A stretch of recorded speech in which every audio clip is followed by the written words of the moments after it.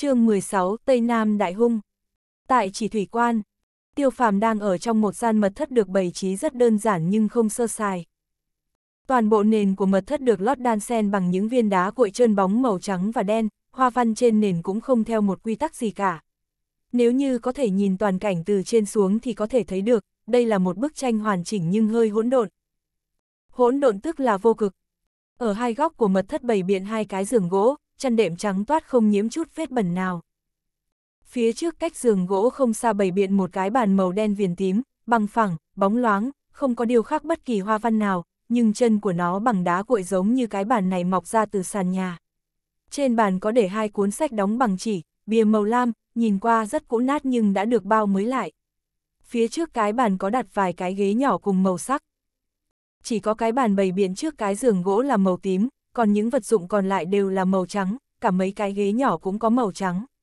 Trên bàn bày biện một bình hoa xinh xắn, trong bình cắm một vài bông hoa màu xanh không biết tên, sức sống giạt rào. Ngoại trừ những đồ vật đó ra, còn có hai cái giá sách. Bên trong mật thất, phảng phất một mùi đàn hương, làm cho người khác vừa ngửi bỗng cảm thấy vui vẻ thoải mái. Tiêu Phàm và Tân Lâm ở chung một căn phòng, mỗi người chiếm cứ một chiếc giường. Audio điện tử võ tấn bền.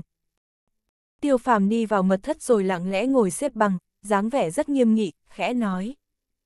Đốt nhang. Giọng điệu vẫn dịu dàng như cũ nhưng có một chút nghiêm nghị.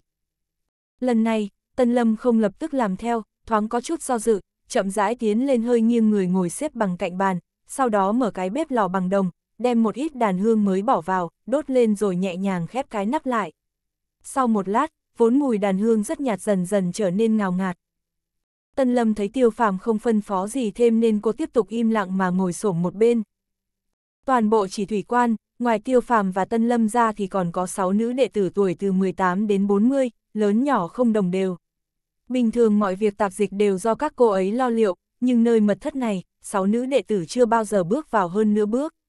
Toàn bộ phân phó của tiêu phàm ở gian mật thất này đều là do Tân Lâm tự đi làm. Tiêu phàm nghiêm túc lấy ra hai cái hộp nhỏ chạm khắc từ hắc ngọc, động tác của cậu ta rất nhẹ nhàng. Tân Lâm nhìn hết thảy rất chăm chú, không có chớp mắt. Thực tế thì bọn họ ngày đêm ở chung với nhau đã 3 năm, nhưng Tân Lâm cũng chỉ vẻn vẹn nhìn thấy tình huống tiêu phàm nghiêm túc bói toán như vậy 5 lần. Đây là lần thứ 6 mà mỗi lần bói toán đều là đã xảy ra chuyện hết sức quan trọng. Tân Lâm nhớ lại rất rõ ràng, lần bói toán một năm trước là bởi vì thụ nghiệp ân sư, chân nhân trưởng môn thứ 63 của vô cực môn chỉ thủy tổ sư Vân Du bên ngoài, bản mạng nguyên thần đang bỗng trở nên tối tăm. Tiêu phàm lo lắng sư phụ gặp phải nguy hiểm không lường trước được nên đã nghiêm túc mở quẻ. Ba ngày sau, bản mạng nguyên thần đang từ tối chuyển thành sáng, lúc này, tiêu phàm mới yên lòng. Tân Lâm sở dĩ đối với lần bói toán kia khác rất sâu là bởi vì trong lần bói toán đó thiên cơ phản hệ rất nghiêm trọng, ước chừng tiêu phàm phải nghỉ ngơi 7 ngày mới khôi phục lại nguyên khí. Người thường bị bệnh ở bệnh viện vài ngày là hết sức bình thường, nhưng với một cao thủ nội gia đứng đầu như tiêu phàm thì nguyên khí bị hao tổn cần 7 ngày mới hồi phục, tình huống này được xem là tương đối nghiêm trọng rồi. Lần bói toán đó cũng là phạm vào hai tầng kiêng kỵ. Bản thân chỉ thủy tổ sư là thầy tướng số nên thiên cơ che đậy vô cùng mạnh mẽ, mà tiêu phàm lại là đệ tử chính thống của ông ấy, hai bên quan hệ rất mật thiết. Cưỡng ép thi hành quẻ tượng thì lực thiên cơ phản hệ càng cường đại. Tình huống lần này so với lần ấy cũng không khác biệt nhiều lắm. Tiêu phàm chậm rãi mở cái hộp hắc ngọc thứ nhất ra, ngay lập tức xuất hiện một luồng ánh sáng màu trắng nhu hòa. Bên trong cái hộp hắc ngọc lẳng lặng đặt một vật thể màu trắng như tuyết, không lẫn một chút tạp chất nào cả, luồng ánh sáng màu trắng êm dịu kia cũng phát ra từ vật này. Tân Lâm thấy tiêu phàm mở cái hộp ngọc ra thì cặp lông mày đang buông xuống chợt nhướng lên. Vật này Tân Lâm đã nhìn thấy một lần, tiêu phàm đã nói cho cô nghe tất cả, đây chính là huyền vũ giáp, một trong ba bảo vật trấn giáo của vô cực môn. Nghe nói đâu là từ thời xa xưa lưu truyền đến nay, chắc phải là vật của thần linh có từ thời thượng cổ. Cho đến nay, Tân Lâm chưa từng thấy tiêu phàm sử dụng huyền vũ giáp. Tân Lâm không hiểu bói toán, nhưng cũng hiểu được sử dụng vật chi bảo chấn giáo thì chắc chắn sẽ gặp phải lực phản hệ càng cường đại hơn. Tiêu phàm lặng lẽ nhìn huyền vũ giáp, trong mắt hiện lên vẻ hơi do dự, lại chậm rãi đóng hộp lại. Tân Lâm lại lần thứ hai nhướng chân mày lá liễu lên rồi lại cụp xuống, âm thầm thở phào nhẹ nhõm. Thật ra cô chính là cung chủ hiện nay của thất diệu cung nhưng lại bại trong tay của chỉ thủy tổ sư, vật đặt cược chính là cô phải bảo vệ tiêu phàm 7 năm.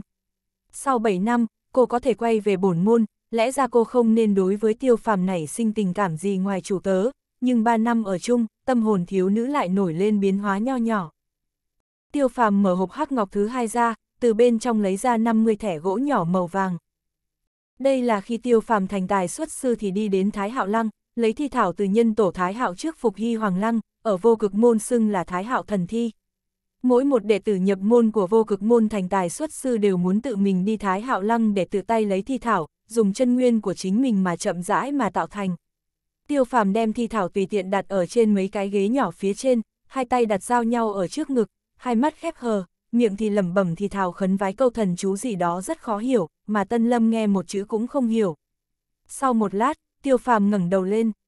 Tân Lâm cảm giác được chân khí ở trong cơ thể của Tiêu Phàm trở nên rất mạnh mẽ, hai mắt tinh quang phát sáng, trên mặt bảo quang lưu chuyển, cả người chân khí cũng tăng lên đến trạng thái cực điểm. Trong khoảnh khắc này, nguyên khí bên trong mật thất dường như cũng phát sinh biến hóa rất nhỏ. Tiêu Phàm đã từng nói với Tân Lâm, cả tòa chỉ thủy quan này đều được xây tại một chỗ trên linh tuyển chi nhãn, hơn 10 dặm chung quanh đều là sơn xuyên địa mạch, thiên địa linh khí đều hội tụ tại nơi này, mà mật thất của tiêu phàm lại đối diện linh khí chi nhãn nên linh khí rất nồng đậm tiêu phàm chậm rãi duỗi tay trái lấy ra một thẻ gỗ nắm ở trong tay, sau đó đem 49 thẻ gỗ còn lại chia làm hai phần. Sách, nói rằng, khai triển số lượng 50, cậu ta dùng 49, phân làm hai dùng giống như hai treo một như ba bói lá dùng 4 ví như 4 mùa. Về kỳ vu lạc, lấy như nhuận, 5 tuổi lại nhuận, cố lại lạc rồi sau đó lại treo. Ngay từ đầu, động tác của tiêu phàm rất nhanh, hai tay đưa qua đưa lại nhanh như con thoi. Trong lúc đó, hai đống thẻ cũng lắc lư. Tân Lâm không quan tâm việc này, hai tròng mắt đen nhánh vẫn luôn đặt ở trên mặt của tiêu phàm. Lúc mà quẻ thứ nhất được rút ra, quanh người tiêu phàm vốn coi như là bình lặng bỗng nguyên khí thiên địa trở nên vô cùng hỗn loạn, quay cuồn không ngừng.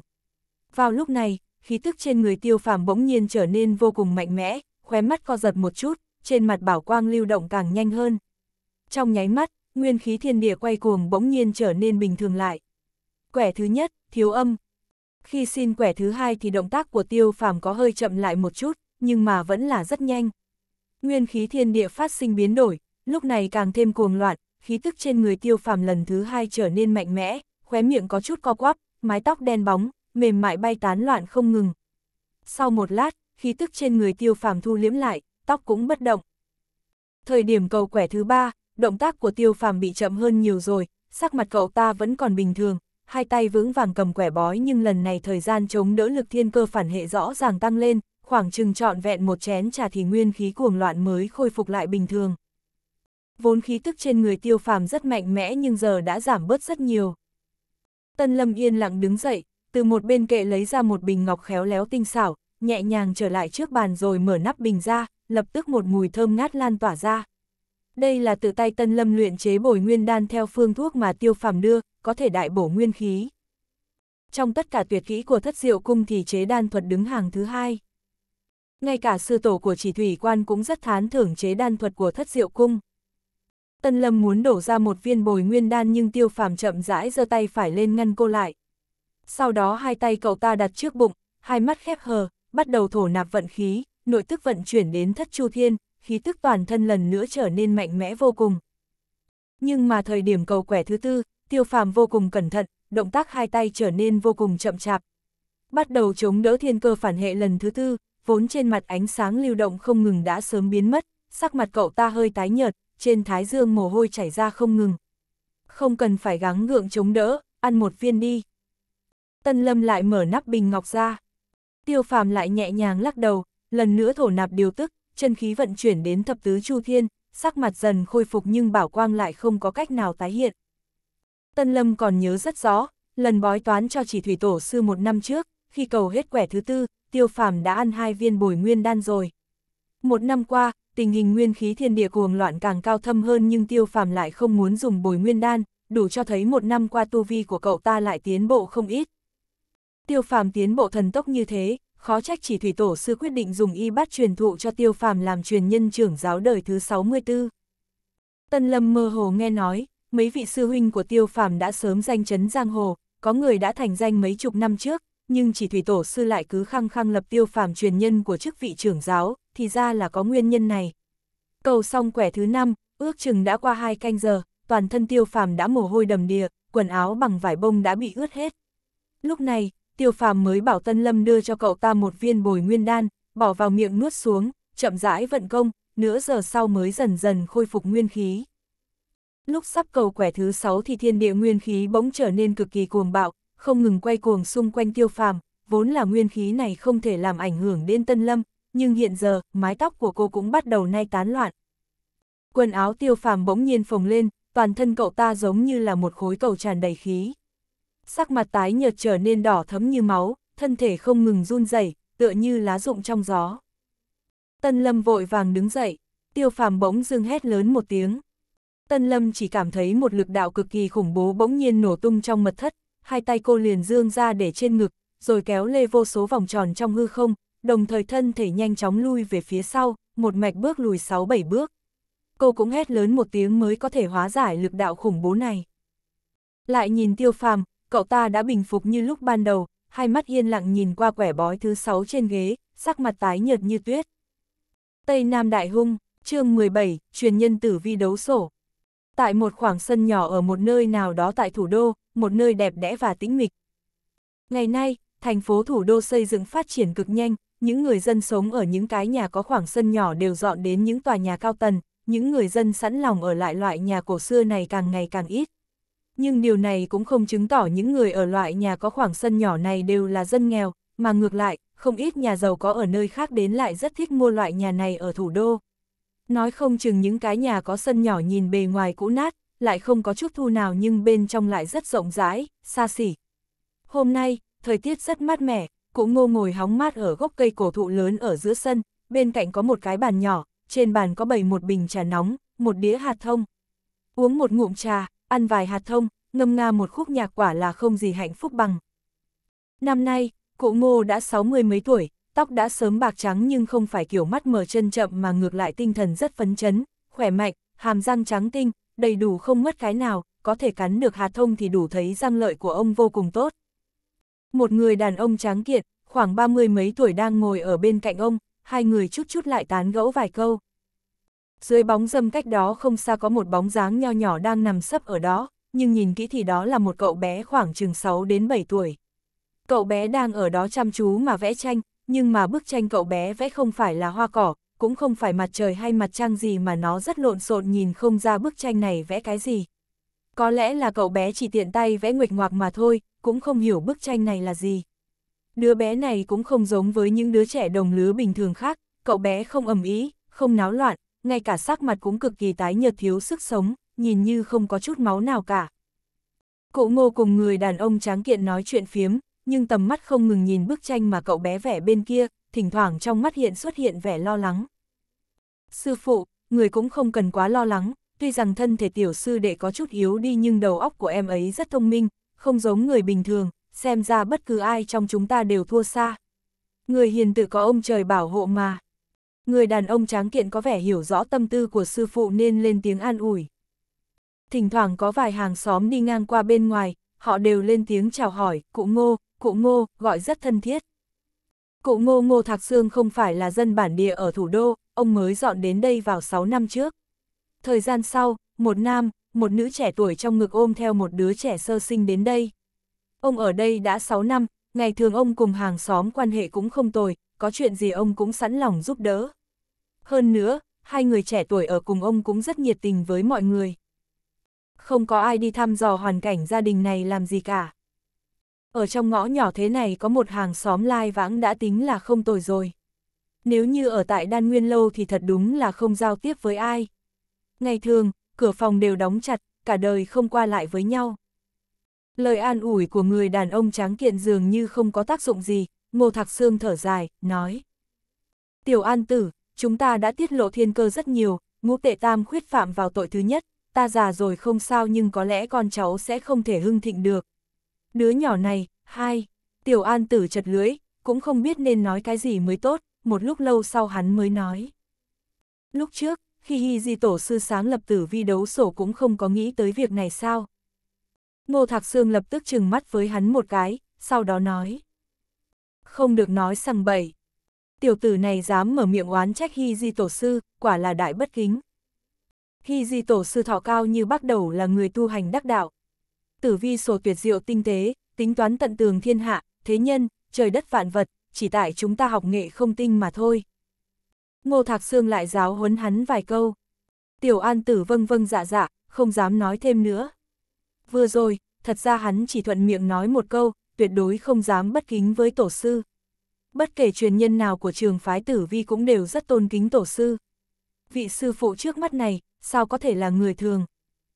Ở trong mắt người khác, Ngô Thạc Sương mỗi ngày chỉ nhàn nhã uống trà, phơi nắng, không làm bất cứ việc gì cả, nhưng ông ấy vừa ra tay là có thể thu mua lại toàn bộ tứ hợp viện, một lão đầu về hưu bình thường thì làm sao có tiền tài nhiều như thế chứ? Ngô Thạc Sương cầm chung trà lên, đang muốn đưa lên miệng uống thì bỗng nhiên tay lại buông xuống, ngón trỏ tay phải khẽ nhúc nhích, rồi lập tức ngồi thẳng người, vẻ mặt rất nghiêm túc, nói. Tiểu An Tử, có khách quý đến thăm, con đi ra bên ngoài đón tiếp đi. Hả? Tiểu An Tử có chút thẫn thờ. Lông mày của Ngô Thạc Sương khẽ nhíu lại, nói. Hả cái gì, nhanh đi. Dạ. Tiểu An tự nhảy bật dậy, bước vội ra cổng, nhưng bởi vì hắn dây dưa một hồi nên đã chậm mất, khách quý đã bước vào cửa chính rồi. Một nam, một nữ trẻ tuổi bước vào, sắc mặt người nam tái nhợt, nhã nhận lịch sự, toàn thân cậu ta mặc một bộ quần áo bằng bông vải màu xanh, chân mang một đôi giày vải màu đen, tính tình rất điềm tĩnh. Người nữ ăn mặc cũng rất đơn giản, im lặng mà theo sát phía sau người nam hai bước. Hai người im lặng bước vào, bước chân cũng không có phát ra tiếng động nào cả. Đúng là tiêu phàm cùng Tân Lâm. Hai vị đây là... Tiểu An tử thoáng chút sừng sốt, nghi ngờ hỏi. Hắn chưa bao giờ gặp qua hai người này, nhìn qua cũng không giống như con cháu thế gia hoặc là đại phú hào, cái danh xưng khách quý là nói đến cái gì. Tiêu phàm nhẹ nhàng chắp tay, mỉm cười, nói. Xin chào vị sư huynh này, tại hạ tên là Tiêu Nhất Hành, còn đây là bạn gái của tại hạ, tên là Tân Lâm. Chúng tôi đến là để bái kiến ngô tiền bối, đã mạo muội làm phiền, xin sư huynh thứ lỗi. Không đợi tiểu an tử trả lời, ngô thạc sương đã đứng dậy, chắp tay nói. Nhất hàng tiên sinh, tân cô nương, mời hai vị vào. Lão già đây chính là ngô thạc sương, hai vị đều là đại nhân vật, danh xưng tiền bối lão không dám nhận, danh xưng lão tiền bối, lão lại càng không đảm đương nổi.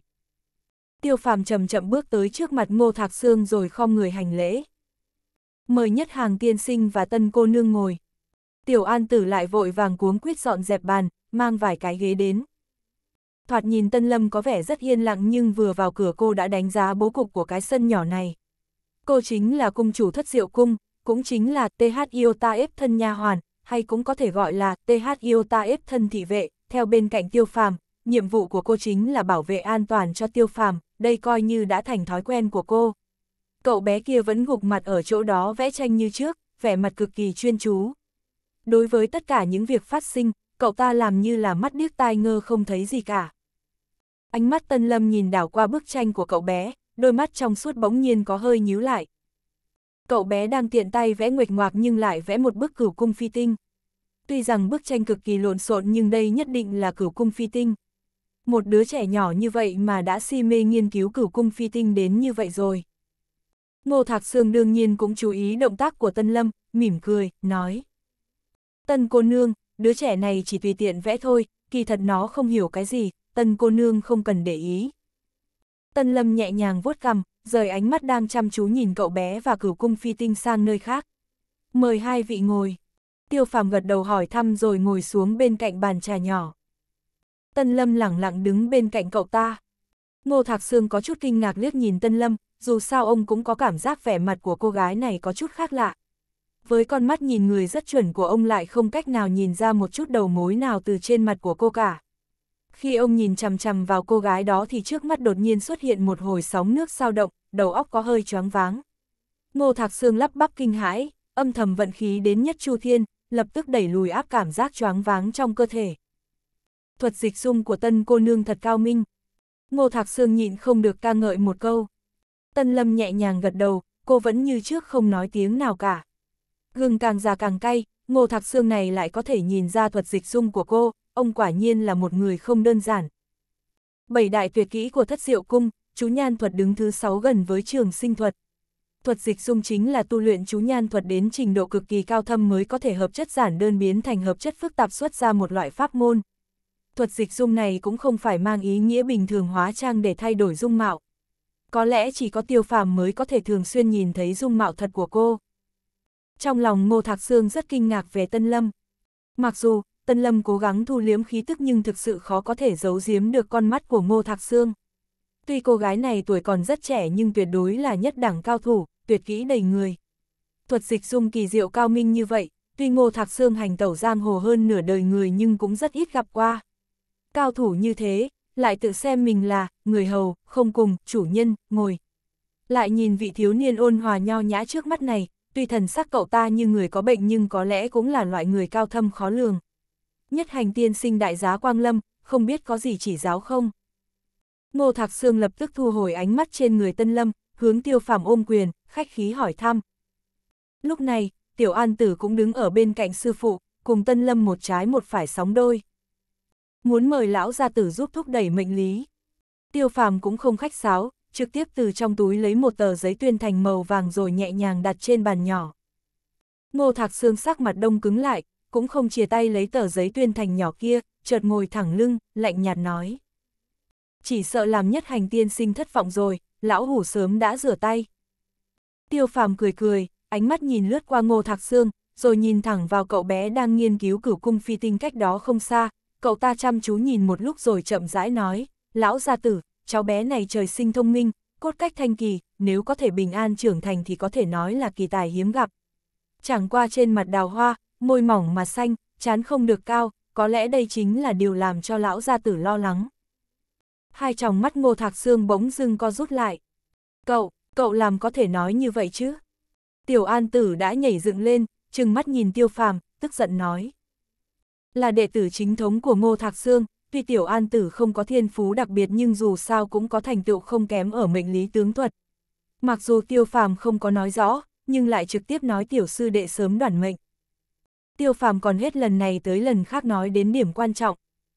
Mấy năm qua, mỗi ngày sư phụ đều vì việc này mà lo lắng, suy nghĩ tìm không ít các biện pháp nhưng tất cả đều không có bao nhiêu hiệu quả, tuy nhiên miễn cưỡng bảo vệ cho tiểu sư đệ một cái mạng, nhưng thân thể thì càng ngày càng yếu đi.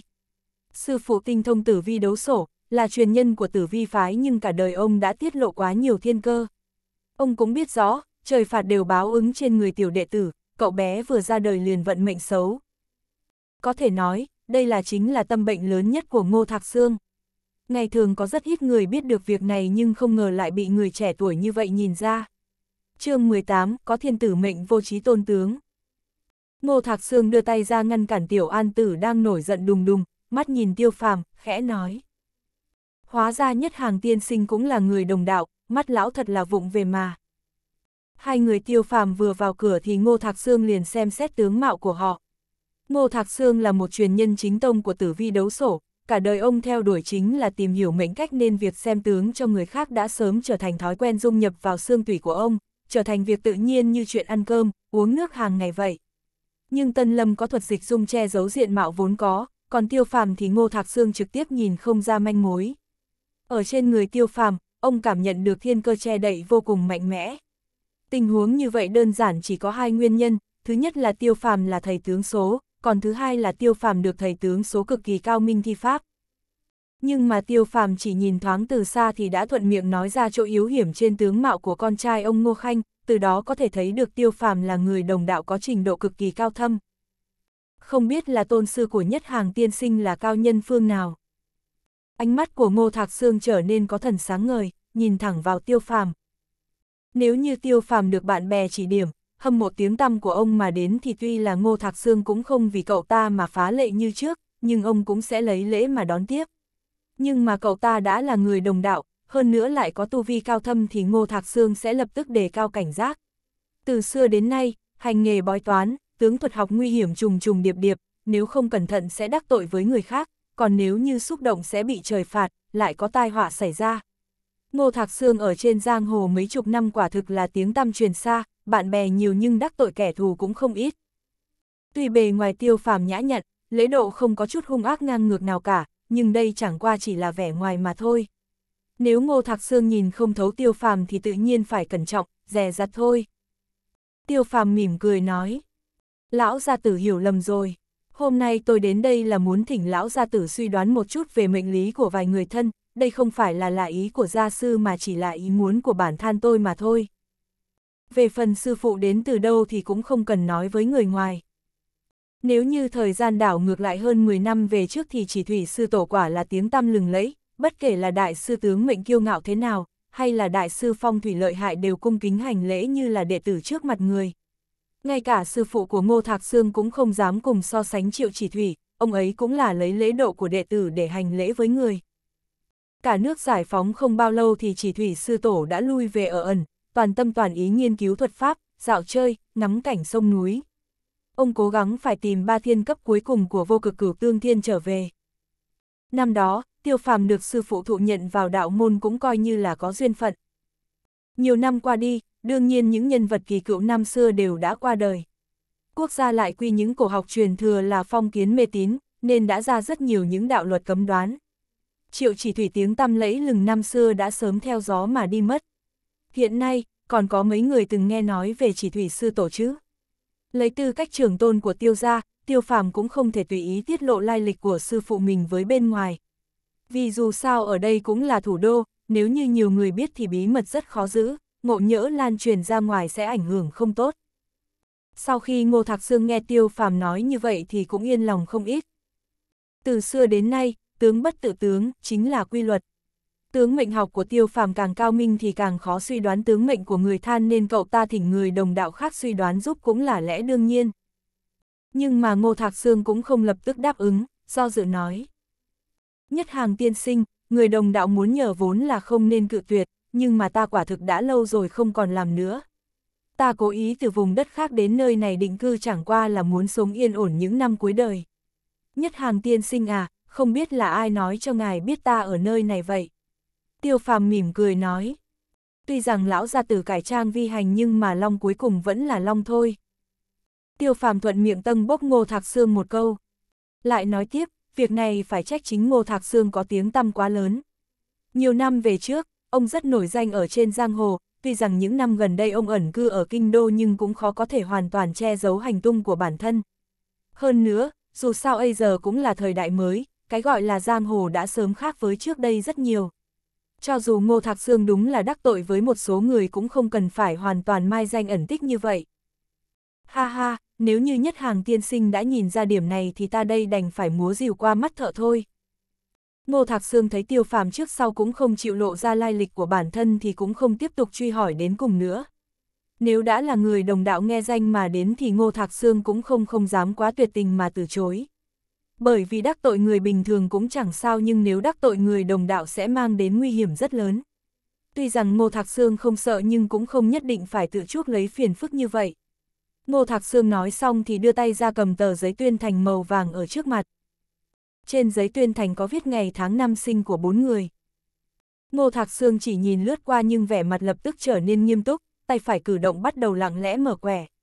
Một lát sau, sắc mặt Ngô Thạc Sương vốn hồng hào bỗng có hơi trắng bệch, ông chậm rãi đặt tờ giấy tuyên thành xuống bàn, mắt nhìn Tiêu Phàm, trầm giọng hỏi. Nhất hàng tiên sinh, mấy vị này là như thế nào với ngài vậy? Ông nội, cha, ta, còn có em trai của ta. Tiêu Phàm thản nhiên đáp. Ngô Thạc Sương khẽ hấp một ngụm lãnh khí, nhịn không được lại nhìn Tiêu Phàm từ trên xuống dưới, lần nữa đánh giá cậu ta. Rất rõ ràng, ông đã phát hiện có điều gì đó không thích hợp. Nhất hàng tiên sinh, toàn gia phú quý à. Sau khi Ngô Thạc Sương cẩn thận đánh giá Tiêu Phàm một chút thì nói. Tiêu Phàm khẽ nói. Thỉnh lão gia tử lần nữa suy đoán cẩn thận một chút. Tiêu gia vốn là một đại hào môn nhất đẳng hiện nay, tiêu lão gia uy chấn thiên hạ, địa vị rất cao chỉ dưới thần linh, trước mắt lại là một trong mấy vị lão tướng cuối cùng ở chế độ Cộng Hòa. Tiêu chạm lại giữ chức bộ trưởng, cũng là người quyền cao chức trọng. Tiêu phàm và em trai Tiêu Thiên đều có mệnh cách vô cùng quý trọng. Ngô Thạc Sương thân là truyền nhân chính tông tử vi đấu sổ thì làm sao có thể nhìn không ra chứ? Ngô Thạc Sương chậm rãi lắc đầu, nói. Thực xin lỗi nhất hàng tiên sinh, việc này ta thật sự không dám thôi đẩy. Tại sao? Tiêu phàm khẽ nhíu mày. Lão gia tử xin thứ lỗi cho ta ăn ngay nói thẳng, hình như là tử vi đấu sổ cũng không có những điều cấm kỵ như vậy. Vì xem tướng cho người có mệnh cách cực quý cũng không ở trong giới hạn cấm kỵ của các trường phái tướng thuật học. Nếu không thu nhận thù lao của những người có mệnh cách giàu sang thì thuật sĩ làm sao có thể sinh tồn chứ? Chẳng lẽ thực sự bắt trước người khác bày hàng ở vỉa hè hay ở dưới cầu vượt để lừa gạt những thanh niên trẻ không hiểu chuyện, kiếm mấy đồng bạc lẽ sống tạm qua ngày sao? Tử vi đấu sổ thực sự không có điều cấm kỵ như vậy nhưng mà nhất hàng tiên sinh à, chắc ngài cũng nhìn ra được thiên cơ che giấu trên người lệnh tổ và lệnh tôn có bao nhiêu cường đại. Thực không dám giấu giếm loại sự tình này ta cũng rất ít gặp qua. Ngô Thạc Sương cũng nhíu mày, nói. Bởi vì có quan hệ huyết thống thân thiết nên tiêu phàm không thể tự mình suy đoán cặn kẽ được lý do bên trong, nhưng Ngô Thạc Sương là một người không có liên quan gì cũng cảm nhận được lực thiên cơ che giấu, điều này quả thực là kỳ lạ. Nhưng mà nhất hàng tiên sinh à, lệnh tổ và lệnh tôn không thể thôi diễn nhưng mà ngược lại ta có thể thử thôi diễn tướng mệnh của ngài và em trai ngài. Tiêu phàm vội vàng kính cẩn nói. Thỉnh lão ra tử dạy bảo.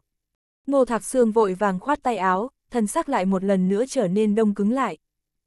Tướng mệnh của nhất hàng tiên sinh và lệnh đệ đều vô cùng cao quý. Hai anh em đều là tướng mệnh thiên tử, ngô mỗ phiêu bạc trên giang hồ nhiều năm như vậy cũng chưa từng gặp qua người nào có tướng mệnh như thế. Ngô Thạc Sương nói xong thì hai tay ôm quyền cúi chào. Tiêu phàm khẽ cười, ôm quyền đáp lễ. Nhất hàng tiên sinh à, căn cứ theo mệnh lý để suy tính thì tướng mệnh của em trai ngài càng cao quý hơn ngài. Mạng của ngài giống như long ở nơi nước sâu, thâm tàng bất lộ, có thiên tử mệnh nhưng không chí tôn chi tướng. Còn em trai ngài thì không phải như vậy, cậu ta là phi long tại thiên, thiên tử chi mệnh, chí tôn chi tướng hai cái đều có đủ cả. Nhưng mà tướng mệnh thiên tử cao quý như vậy vì sao lại bị thiên cơ che giấu chứ? Thậm chí còn ẩn hiện điểm xấu, thật sự là khiến cho người khác khó lý giải mà. Ngô Thạc Sương nói xong thì trên mặt cũng tràn đầy vẻ nghi ngờ. Hai anh em đều có tướng mệnh thiên tử cực phú cực quý, ngay cả trong lịch sử thì việc này cũng là một hiện tượng kỳ lạ vô cùng hiếm thấy. Từ thời xa xưa cho đến nay, khoảng mấy ngàn năm cũng chỉ lác đác có hơn 10 người mà thôi, như là Tống Thái Tổ và Tống Thái Tông. Về phần một số triều đình nhỏ thời loạn thế, hoàng đế giống như là đèn cù tự hoán đổi, thỉnh thoảng phát sinh những chuyện bất luân, những thảm kịch như con gờ Iota Etcha, huynh đệ tàn sát lẫn nhau, hướng vi thiên tử mộ vi tử linh. Ngược lại hoàng đế thật lại khó tránh khỏi cảnh đổ máu, cũng có thể nói có thiên tử mệnh vô trí tôn tướng. Tiêu phàm nói, lão gia tử, cửu văn tử vi đấu sổ có 18 phi tinh tuyệt học, mặc khác lưu phái không lẽ không có người có khả năng tra ra loại kỳ hữu này. Sắc mặt ngô thạc xương trầm xuống, trong mắt tinh quang chợt lóe lên giống như một thanh đao sắc bén. Bầu không khí trong viện bỗng trở nên rất kỳ lạ dường như nhiệt độ không khí xung quanh bỗng chốc hạ xuống mấy độ sắc mặt tiểu an tử lại trở nên cực kỳ khó coi, ánh mắt hung tợn nhìn chằm chằm vào tiêu phàm. Ngươi có ý tứ gì? 18 phi tinh, ngươi thực dám mở miệng nói à? Hừ, ngay cả ta cũng không dám cầu xin giúp tiểu sư đệ nữa là. Tiểu an tử nổi giận đùng mà nói. Vốn đứa bé trai tên Ngô Khanh vẫn luôn nằm sấp ở chỗ kia nghiên cứu cửu cung phi tinh đồ cuối cùng cũng ngẩng đầu lên, vẻ mặt tràn đầy kinh ngạc nhìn sang bên này. Vừa rồi mọi người nói chuyện lâu như vậy mà nó vẫn làm lơ nhưng bây giờ, nó vô cùng nhạy bén mà cảm giác được bầu không khí trong sân đã có biến đổi. Tử vi truyền thừa hẳn có chỗ không tầm thường. Vẻ mặt của tiêu phàm vẫn điềm tĩnh như bình thường, không thèm để ý chút nào đến tiểu an tử đang giận tím mặt làm vẻ ta đây, nghênh đòn ánh mắt sắc bén của ngô thạc xương, không nhanh không chậm nói. Lão gia tử, ta cũng biết là thi triển 18 phi tinh tuyệt học cực kỳ hao tổn nguyên khí, ta cũng không dám đem hai tay không đến nhờ vả, chỉ cần lão gia tử nguyện ý xuất thủ một lần thì ta chắc chắn sẽ hầu tạ. hầu tạ. Ngay lập tức ngô thạc xương cười cười, khóe miệng tràn đầy ý mỉa mai. Nhất hàng tiên sinh có phần xem thường ngô mỗ rồi, tiền bạc là vật ngoài thân mà ta lại đến cái tuổi này thì ngài nghĩ rằng ta sẽ quan tâm đến những thứ này sao? Ngô Thạc Sương đã phiêu bạt trên giang hồ nhiều năm như vậy, tuy không phải giàu có một phương nhưng ba, năm đến mấy trăm vạn thực sự hắn còn không thèm đặt vào mắt hơn nữa tổn hại khi thi triển tử vi đấu sổ thập bát phi tinh tuyệt kỹ căn bản là tiền không thể đổi lại được. Tiêu phàm nhẹ nhàng lắc đầu, mỉm cười nói. Nếu như lão gia tử muốn nói đến tiền thì ta thực sự không thể lấy ra số tiền nhiều như vậy. Ở đây ta có chút đan dược có lẽ là lão gia tử ngài sẽ cảm thấy có hứng thú. Tân lâm tiến lên từng bước, cầm một cái bình ngọc nhỏ tinh xảo đặt lên bàn trà, lạnh nhạt nói. Đây là chín viên thất phương đan đổi lấy ngươi xuất thủ một lần, Thất phương đan. Ngô Thạc Sương kinh ngạc đứng phát dậy. Cô, cô là truyền nhân của thất diệu cung à? chương 19, thọ mạch. Tân Lâm không trả lời thắc mắc của Ngô Thạc Sương, chỉ bình thản nói. một viên thất phương đan sẽ đảm bảo con trai của ngươi bình an một năm. chín năm sau thì phải xem tạo hóa của hắn. Lúc này, hai mắt ngô thạc xương trợn tròn xoe, nhìn chằm chằm vào bình ngọc tinh xảo, nuốt một ngụm nước bọt, ngực phập phồng có vẻ vô cùng kích động, hận không thể ngay lập tức đoạt lấy bình ngọc cầm trong tay để kiểm tra thật giả. Lúc này, ông ta còn có điểm nào giống với dáng dấp của một thế ngoại cao nhân chứ? Quả thực là thất phương đan này đối với hắn mà nói là vô cùng quan trọng. Tiêu phàm xem tướng vô cùng chuẩn xác, con trai của ông Ngô Khanh đúng là trời sinh tạo yêu chi tướng. Ông đã thực hiện rất nhiều phương pháp, đem tất cả bản lĩnh của bản thân cố gắng kéo dài tánh mạng của con trai nhưng mà càng ngày càng khó khăn. Ông đã sớm nghe nói thất diệu cung có phương pháp bí mật bào chế thần dược thất phương đan có thể kéo dài tánh mạng, nhưng ông muốn tìm cũng không tìm không thấy. Thất diệu cung ở trên giang hồ tiếng tăm lẫy lừng, đã có vô số tin đồn về thất diệu cung nhưng nếu thật sự muốn tìm thất diệu cung lại phát hiện một chút manh mối cũng không có, tất cả đều là hư vô mờ ảo, chỉ nghe danh chứ chưa từng có ai thấy qua. Bây giờ thất phương đan bỗng nhiên tự đưa tới cửa, Ngô Thạc xương làm sao có thể giữ được bình tĩnh chứ? Sư, sư phụ, cái này, cái này không biết có phải là thật hay không? Thất diệu cung chỉ là một truyền thuyết mà thôi. Tiểu An Tử cũng trợn to hai mắt, lắp bắp nói, trên mặt tràn đầy vẻ nghi ngờ. Tiêu phàm mỉm cười quay về phía bé trai đang nằm, vẫy vẫy tay. Cậu bé trai dường như đối với cậu ta rất có thiện cảm, vét miệng cười, thả cỏ vẽ trên tay xuống đất, chậm rãi đi tới. Cậu bé tuy còn nhỏ tuổi nhưng lại có chút khí khái điềm tĩnh, không hoạt bát hiếu động giống bạn cùng lứa. Lão gia tử, không ngại cho ta bắt mạch xem bệnh cho cậu bé chứ. Không đợi Ngô Thạc Sương trả lời, Ngô Khanh đã chìa cánh tay nhỏ bé đến trước mặt Tiêu Phàm, yếu ớt gọi một tiếng. Chú! Tiêu Phàm liền chìa ra ba ngón tay phải, nhẹ nhàng đặt ở trên cổ tay của cậu bé bắt đầu bắt mạch, hai cặp mắt cậu ta nhíu lại, vẻ mặt ngưng trọng. Ngô Thạc Sương nhìn thấy tình huống phát sinh như thế thì cũng không tiện nói gì, rất khẩn trương nhìn Tiêu Phàm. Mặc dù tuổi cậu ta còn rất trẻ nhưng Ngô Thạc Sương rõ ràng có thể cảm nhận được trên người cậu ta tỏa ra một luồng khí chính nghĩa. Người trẻ tuổi này từ trong ra ngoài tỏa ra chính khí hào hùng không lẫn chút khí khái không đàng hoàng nào cả. Tiêu phàm bắt mạch cho Ngô Khanh, lại đứng dậy đi vòng quanh Ngô Khanh hai vòng, sau đó sờ sờ sau ót của cậu bé, vừa đưa tay đo đạc sống lưng của cậu bé, vừa bóp bóp hai cánh tay. Xong xuôi thì cậu ta mới lần nữa ngồi xuống, trầm ngâm nói. Lão gia tử à, chuyến đi này, chúng tôi đã tiết lộ thiên cơ quá nhiều, xác thực là sẽ có một chút lực trời phản ứng ở trên người cậu bé. Nhưng mà, mọi việc không phải hoàn toàn như vậy. Trước kia, Hy Di Tổ Sư sống đến 800 tuổi, mặc dù là khó tránh theo dệt nhiều tin đồn nhưng Hy Di Tổ Sư Thiện Thủy Thiện Trung là có thật không thể nghi ngờ. Tuy tướng mạo cậu bé khó dò nhưng mà cốt tướng vô cùng kỳ lạ, nếu như ta không có nhìn lầm thì trong cơ thể nó kỳ thật có ẩn dấu thọ mạch. Từ giờ cho đến năm 14 tuổi chính là thời kỳ mấu chốt. Chỉ cần chịu đựng qua năm 14 tuổi thì chắc chắn thiên cơ sẽ đảo ngược, không những giàu sang mà còn sống rất thọ. Nhất hàng tiên sinh, điều ấy là thật chứ? Ngô Thạc Sương khẩn trương hỏi, trên mặt tràn đầy vẻ chờ mong, phong khái điềm tĩnh lúc trước đã biến mất không còn sót lại chút gì cả. Tiêu phàm mỉm cười, nói. Lão gia tử, trong lòng ông chắc hẳn là hiểu rõ. Ngô Thạc Sương thở phào nhẹ nhõm, nói. Không dám dối gạt nhất hàng tiên sinh, ngô mẫu quả thực đã từng vì nó mà mạo hiểm thôi diễn tướng mệnh, nhưng thọ mạch lúc ẩn lúc hiện. Đúng là rất mơ hồ, ta lo lắng là chính mình tính toán không chính xác. Bởi vì thôi diễn tướng mệnh cho con trai ruột nên có thể có được chút tin tức mơ hồ đã là rất giỏi rồi, từ đây đủ chứng minh Ngô Thạc Sương có thành tựu rất cao thâm. Lấy khả năng của tiêu phàm, hôm qua cậu ta đã cưỡng chế khởi quẻ, tinh nguyên tổn thất cũng rất lớn. Đoán chừng Ngô Thạc Sương vì thế mà đã phải trả giá rất lớn. Bây giờ Ngô Thạc Sương lại nghe tiêu phàm nói như vậy thì trong lòng càng thêm yên tâm. Bọn họ đều là đại thuật sư nên nhất cử nhất động của tiêu phàm Ngô Thạc Sương đều thu hết vào trong tầm mắt. Việc này không thể nào là giả được. Thất phương đan mặc dù không có thần kỳ như trong truyền thuyết nhưng quả thực có công hiệu bảo toàn kéo dài tính mạng.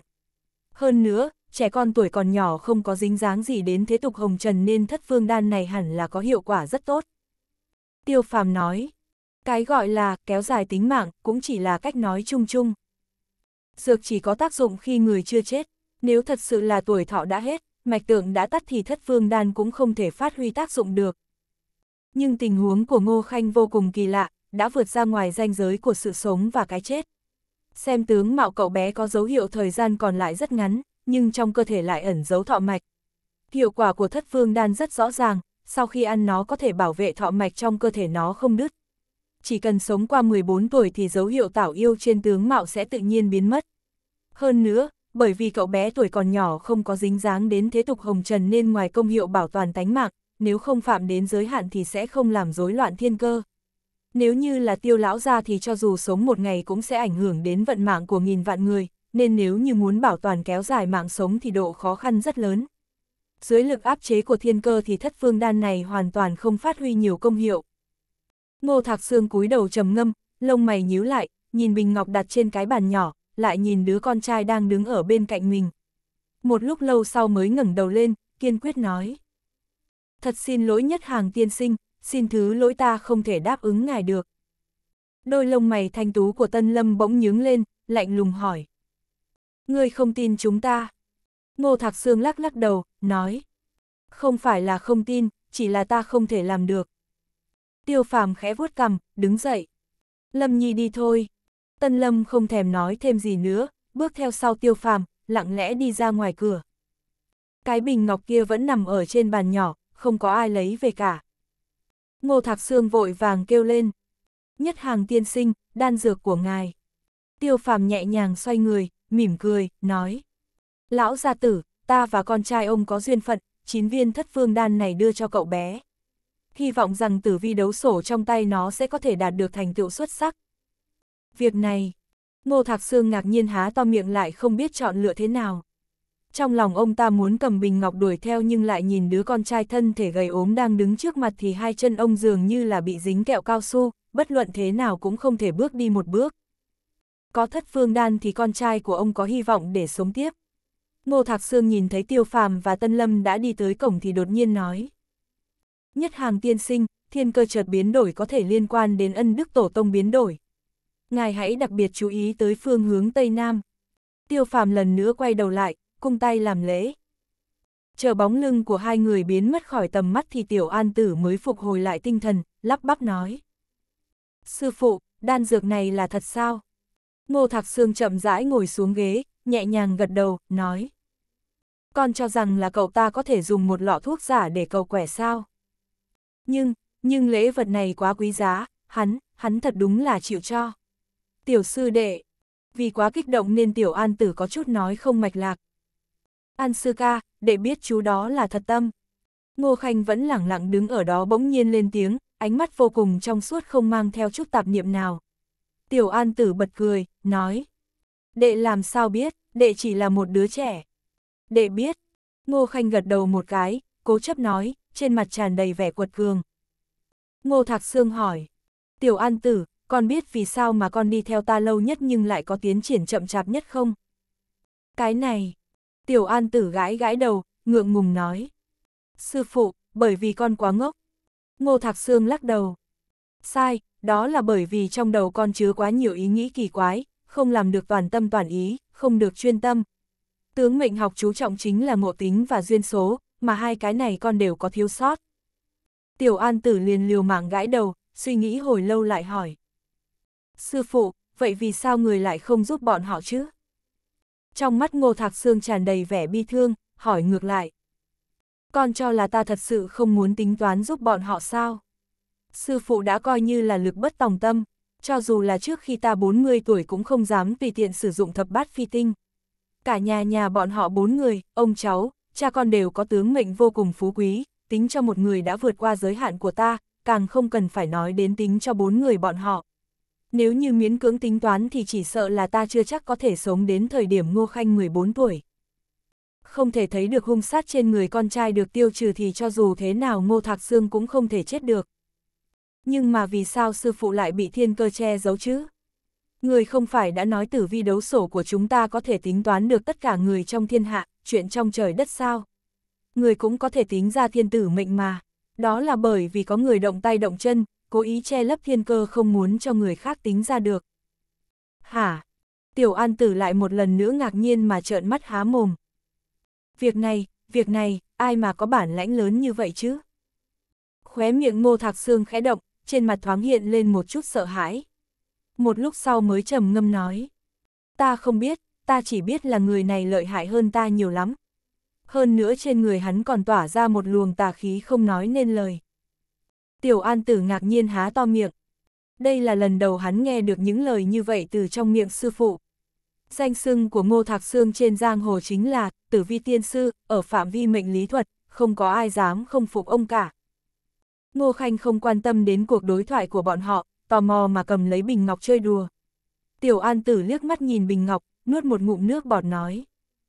Sư phụ à, tiêu tiên sinh này đúng là tốt nha, một nhân tình lớn như thế. Ngô Thạc Sương cười ha ha, nói. Tiểu An Tử, con cho là người đó là cán bộ nhà nước sao? Sớm muộn gì cũng có một ngày, ta phải hoàn trả cái nhân tình này. Chờ khi toàn bộ hung sát chi khí trên người Ngô Khanh được hóa giải thì chính là lúc sư phụ trả ân tình. Cùng lắm thì đem cái mạng già này giao cho hắn. Tiểu An Tử lại lần nữa kinh ngạc trợn to mắt, nửa ngày cũng không nói nên lời. Vừa bước lên ô tô thì Tiêu Phàm quay mặt đối diện với Tân Lâm đang ngồi trên ghế tài xế, nói. Thu thập một chút, chuẩn bị đi Giang Hán một chuyến. Ừ. Tân Lâm gật đầu, khởi động xe. Ngay lúc này thì di động lại vang lên, Tiêu Phàm vừa nhìn thì đúng là cục tôn giáo gọi tới. Xin chào, tiêu trưởng ban, tôi là Lão Vương, là như vậy, tối mai ở cục có một hội liên hoan tiếp đãi đạt nhĩ khách hoạt Phật. Không biết là tiêu trưởng ban có thời gian để tham gia không? Được, tôi sẽ đi, cảm ơn Vương chủ nhiệm.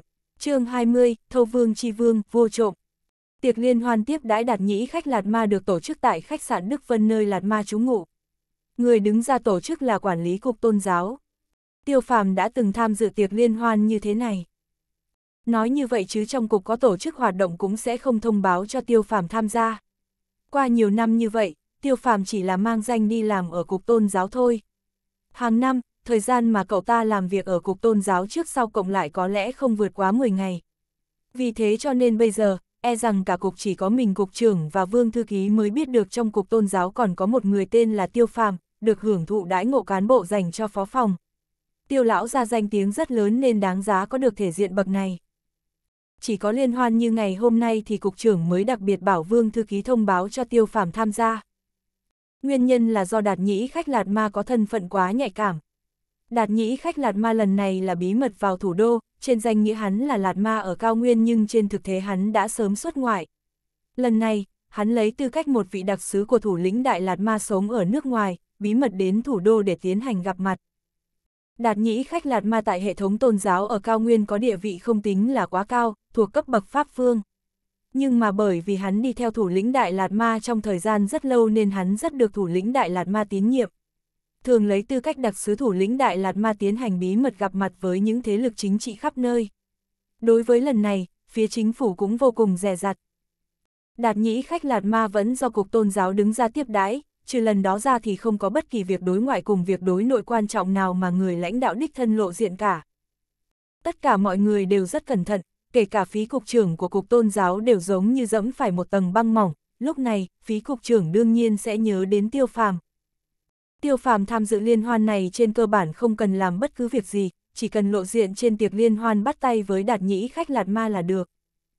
Phí cục trưởng cần tiêu phàm làm chứng cho hắn, ngộ nhỡ sau này có sự hiểu lầm gì thì tiêu phàm có thể trở thành nhân chứng cho hắn. Một cán bộ trẻ tuổi được hưởng thụ đãi ngộ phó phòng ở cục tôn giáo, ở trong mắt những đại lão cao cấp cũng không tính là cái gì, so với không khí cũng không hơn bao nhiêu, nhưng thân phận trưởng tôn của tiêu lão ra không phải là chuyện đùa, cho dù là ai cũng không dám xem thường. Qua nhiều năm như vậy, phí cục trưởng vẫn luôn rất chiếu cố đến tiêu phàm, ông ấy vì cậu ta mà duy trì thân phận cán bộ, đồng thời cho cậu ta tự do hoàn toàn. Đến thời khắc mấu chốt, tiêu phàm cũng nên giúp đỡ cho phí cục trưởng. Nhưng chỉ có tự mình tiêu phàm biết, sở dĩ cậu ta lùi lại chuyến đi đến Giang Hán mà đến tham gia tiệc liên hoan này, lý do thật sự là cái gì? Khách sạn Đức Vân là khách sạn thuộc về cục tôn giáo, được xây dựng căn cứ theo tiêu chuẩn 4 sao. Hiện nay ở thủ đô, khách sạn Đức Vân chưa tính là xa hoa nhất, đương nhiên cũng không được lưu truyền gần xa nhưng cũng là khách sạn của người thượng lưu. Mỗi lần cục tôn giáo có tiệc rượu đều được tổ chức tại đây.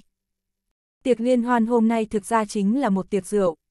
Đạt nhĩ khách lạt ma cũng không kiêng rượu thịt, đây là do giáo lý của bọn hắn cho phép. Giáo lý và giới luật của Phật giáo Đại Thừa cùng Phật giáo Tiểu Thừa có sự khác nhau rất lớn. Tiêu phàm đã sớm hoàn thành, nhiệm vụ cùng đạt nhĩ khách lạt ma bắt tay, sau khi chào hỏi vài câu, cậu ta lại bưng lên một chén trà xanh, ngồi ở một góc tại đại sảnh tiệc rượu, miệng mỉm cười, từ từ thưởng thức trà, quan sát toàn bộ đại sảnh. Lần này thì Tân Lâm không đứng ở bên người cậu ta. Ở tất cả những trường hợp tương tự, Tâm Lâm cũng sẽ không công khai lộ diện. Những tiệc rượu mang theo mùi vị chính trị rõ rệt như vậy thì quy củ tương đối nghiêm ngặt. Tất cả mọi người đều mang mặt nạ, lời lẽ thì nho nhã lễ độ, tương đối giống với một số tiệc rượu ngoại giao long trọng. Ở trong những tiệc rượu như vậy nhất định sẽ xảy ra một số tình huống khó coi. Thí dụ như kẻ trộm. Đúng, chính là kẻ trộm. Những tiệc rượu ngoại giao càng long trọng, nhân viên ngoại giao tham dự càng nhiều thì kẻ trộm càng nhiều.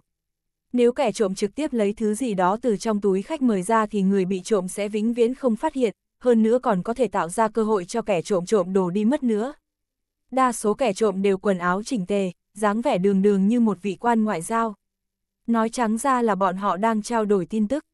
Tiệc rượu hôm nay không giống với những trường hợp trên nên không cần dùng phương thức như vậy để trao đổi thông tin, cho nên cũng không có kẻ trộm. Nhưng mà mọi việc đều có ngoại lệ. Tiêu phàm chưa uống xong một ly trà thì kẻ trộm đã xuất hiện, một kẻ trộm chân chính. Thân phận của hắn hiện tại chính là nhân viên phục vụ của khách sạn, nhìn qua dáng vẻ khoảng chừng ba mươi mấy tuổi, chưa đến 40 tuổi. Hắn mặc tây trang, chân mang giày da rất chỉnh tề, tay bưng một khay rượu, đi qua đi lại ở trong đám người, chút chút lại cung cấp thêm đồ ăn, thức uống. Người phục vụ ngày dáng người không cao, nhiều nhất cũng chỉ cao 1m65, dáng vẻ cũng tạm xem là đứng đắn, chẳng qua là vẻ mặt của hắn có hơi gượng gạo không được tự nhiên. Nhưng cái này cũng không phải là vấn đề quan trọng, sẽ không có ai để ý đến một người phục vụ bình thường có cười tươi như hoa hay không, mà tư thế cầm khay của hắn rất là phóng khoáng, động tác lưu loát. Hắn cầm bình rượu đi lòng vòng ở trong đám người nhẹ nhàng như chim yến, tuyệt đối không đụng chạm tới khách mời, nghiệp vụ vô cùng thông thạo. Khóe miệng tiêu phàm hiện lên một nụ cười hứng thú. Quả thực là hắn, thâu vương chi vương ra cắt ánh huy. Nghe nói trên thế giới này không có thứ gì mà gia cát ánh huy không trộm được. Chỉ cần là hắn muốn trộm cho dù là bạn có đem đồ vật cất giấu trong tủ bảo hiểm cao quý nhất ở Tây Tạng, cộng thêm 12 tầng bảo hộ trùng trùng điệp điệp thì ở trước mặt gia cát ánh huy cũng giống như đồ chơi thôi. Hắn nhất định có thể đem đồ vật của bạn trộm đi. Đương nhiên đây chỉ là lời đồn trên giang hồ, khó tránh có chút phóng đại thêm, nhưng có thể phát sinh loại tin đồn này cũng đã chứng minh gia Cát Ánh Huy là kẻ trộm rất cao siêu. Nếu không thì làm sao người khác sao lại cứ khăng khăng đồn đãi như thế chứ? Những tin đồn liên quan đến Gia Cát Ánh Huy rất khác xa với thực tế. Chẳng hạn như bản thân Gia Cát Ánh Huy cũng không dám thừa nhận mình là thâu vương chi vương vua trộm. Gia Cát Ánh Huy nói tại Ý còn có một vị cao thủ mà bản lĩnh của người đó còn trên cả hắn, người đó có biệt hiệu là Thượng Đế chi thủ tay của Thượng Đế. Lão ấy mới thật sự là thâu vương chi vương, là đệ nhất cao thủ độc nhất vô nhị của toàn giới trộm. Gia Cát Ánh Huy đã từng so tài cùng với hắn và cũng từng chịu thua tâm phục khẩu phục. Cho nên Gia Cát Ánh Huy chỉ tự xưng là Gia Cát Tướng Quân. Điển tích này có xuất xứ từ tiểu thuyết sở lưu hương truyền kỳ của cổ long tiên sinh. Sở hương soái được gọi là đạo soái là tiểu thâu chi vương, là thủ lĩnh của giới trộm. Trong sách còn có một vị cao thủ của giới trộm, bản lĩnh chỉ đứng sau sở hương soái hiệu là Lý Đại Tướng Quân. Gia Cát Ánh Huy lại tự nhận mình là Đại Tướng Quân, bản lĩnh đứng thứ hai, nhưng không ai dám không tin cả. Ngược lại cũng không ai thấy vị thượng đế chi thủ kia, chỉ có ma quỷ mới biết rõ là trên thế giới này có thật sự tồn tại một người như vậy hay không, hay chỉ do Gia Cát Ánh Huy bịa đặt ra mà thôi, hắn chỉ tưởng tượng ra có một đối tượng siêu việt hơn cả hắn. Vì vị trí cao kia rất gây chú ý. Ở phương Đông, ít nhất là chưa từng có người nào có bản lĩnh vượt qua hắn cả. Đối với một người đạt tới cảnh giới cực cao ở một lĩnh vực như vậy thì tiêu phàm cũng sẽ xem trọng một chút. Vì cho dù nói thế nào thì người này thật sự có năng lực, còn về chuyện hắn có đúng như lời ca tụng, là thâu vương chi vương hay không thì phải để lúc khác bàn luận rồi. Tiêu phàm biết tối nay, Gia Cát Ánh Huy nhất định sẽ xuất hiện, hắn là nhắm vào cuốn thánh kinh quyển hạ của mật tông mà đạt nhĩ khách lạt ma mang theo bên người. Chuyện đạt nhĩ khách lạc ma mang theo cuốn thánh kinh quyển hạ bên người không phải là chuyện đùa.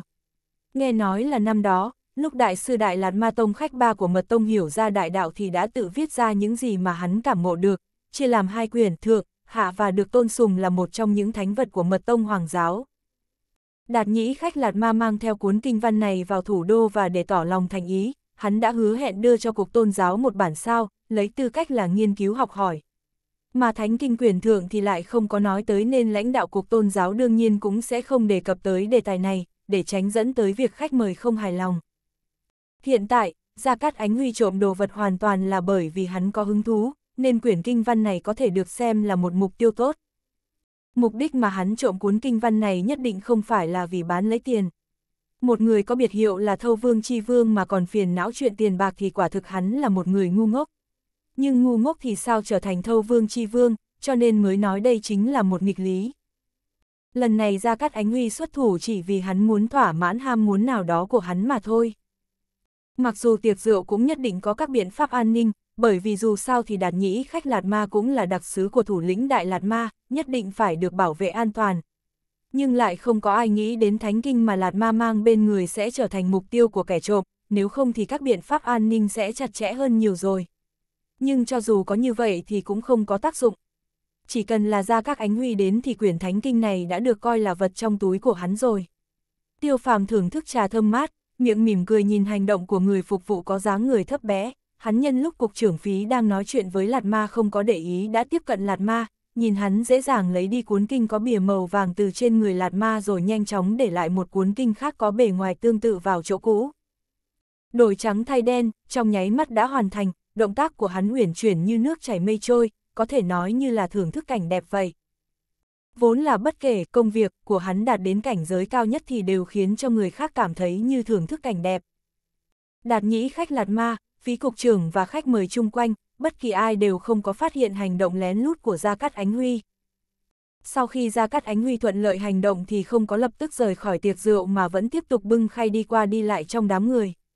Cho đến khi một ly rượu cuối cùng được một vị phu nhân cực kỳ phách lối lấy đi thì, người phục vụ mới khéo léo lộn ngược cái khay rồi tiêu sái mà rời khỏi hội trường.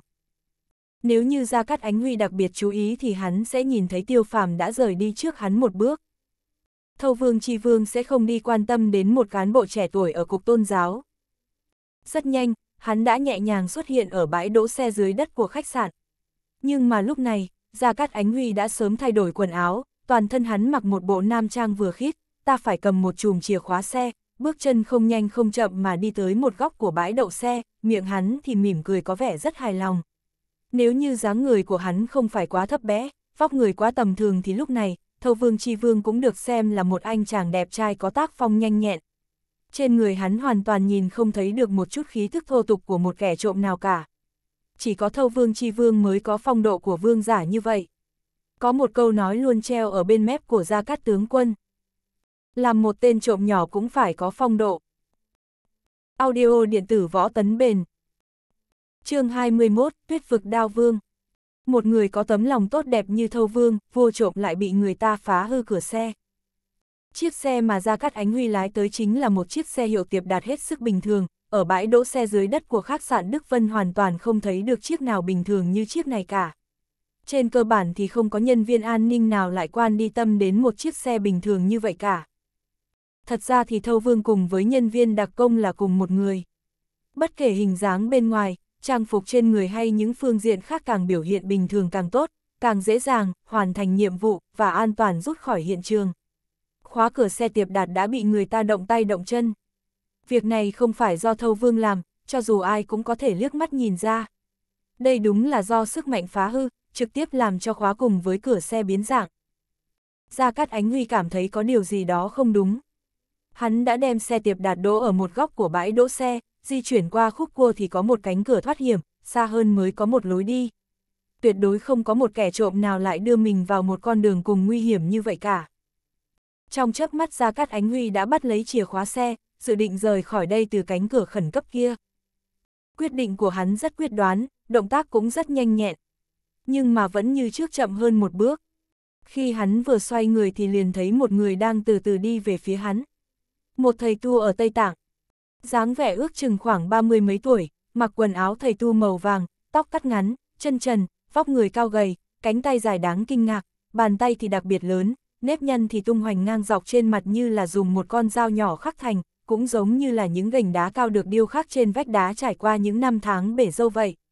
Biểu cảm trên mặt của Lạt Ma cũng giống như nham thạch lạnh như băng, không hề mảy may có một chút sống động nào cả, cứng rắn và rét buốt.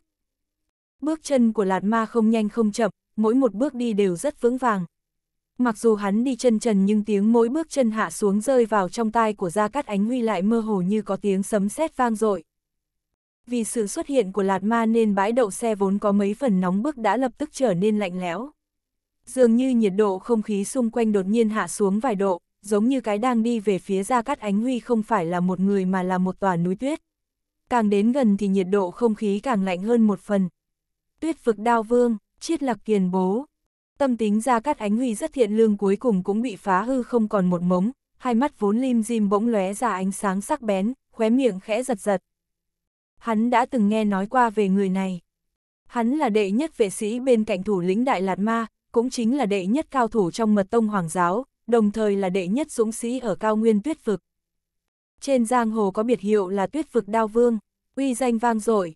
Đan tăng đa cát, tuyết vực đao vương nói ra tên của mình, giọng nói cũng giống như bề ngoài của hắn, cứng rắn, lạnh như băng không có chút ấm áp nào, lại càng không mang theo chút tình cảm nào. Đan tăng đa cát, tàng truyền Phật giáo Kim Cương hộ Pháp.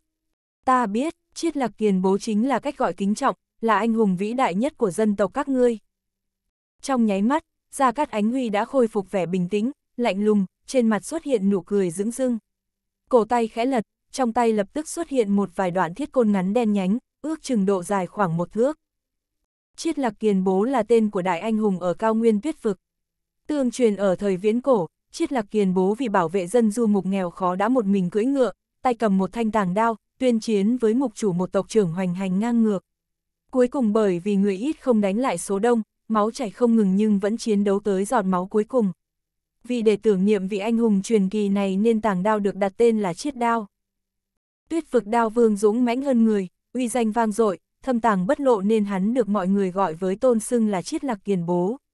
Ha ha, không nghĩ tới để đối phó với ta mà ngay cả ngươi cũng được phái tới, ra các tướng quân ta đúng là có thể diện lớn mà. Có thể thấy tuyết vực đao vương càng bước đến gần thì ngược lại ra cắt ánh huy lại mỉm cười nhưng cơ thể cứng ngắc tựa như cung đã lên dây, bày ra tư thế phòng bị. Gia Cát Ánh Huy biết không cần thiết phải vận khí thăm dò hai phía. Nếu như đan tăng đa cát đã ở chỗ này chờ hắn, ngay cả khóa xe của hắn cũng bị phá hư thì làm sao có thể để cho hắn chạy thoát từ hướng khác được chứ?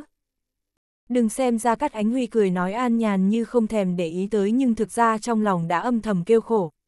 Trước đó, tuy là hắn đã nghe đại danh của Đan Tăng Đa Cát từ lâu nhưng hai người họ chưa từng gặp mặt nhau, lại càng chưa từng giao thủ. Hắn thật sự không biết vị tuyết vực đao vương tiếng tăm lừng lẫy này rốt cuộc dũng mãnh đến mức độ nào. Nhưng Gia Cát Ánh Huy một chút cũng không muốn đi thăm dò. Tuyết vực đao vương là xứng đáng với cái tên cũng tốt, hay là hữu danh vô thực cũng tốt, tất cả đều không liên quan đến Gia Cát tướng quân hắn.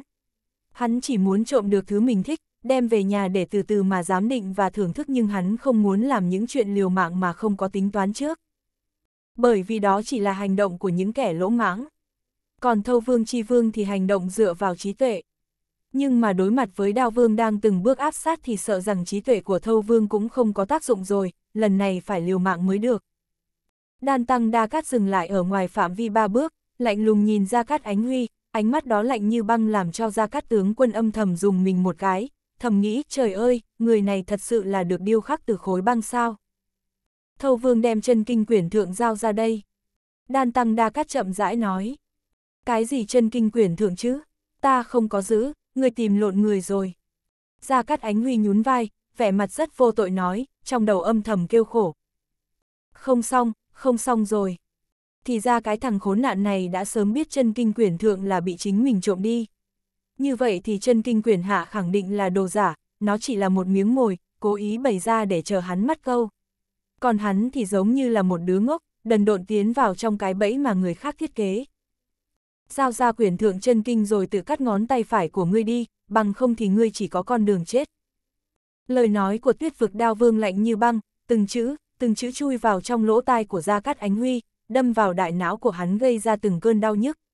Này, ngươi thật sự tìm lộn người rồi, ta thực sự không có lấy quyển thượng chân kinh. Thâu vương vẫn còn cố dương cổ nói xạo. Đùa gì thế? Giao ra chân kinh quyển thượng ngược lại còn chấp nhận được, nhưng tự cắt ngón tay phải thì không phải là muốn hắn tự phế võ công sao.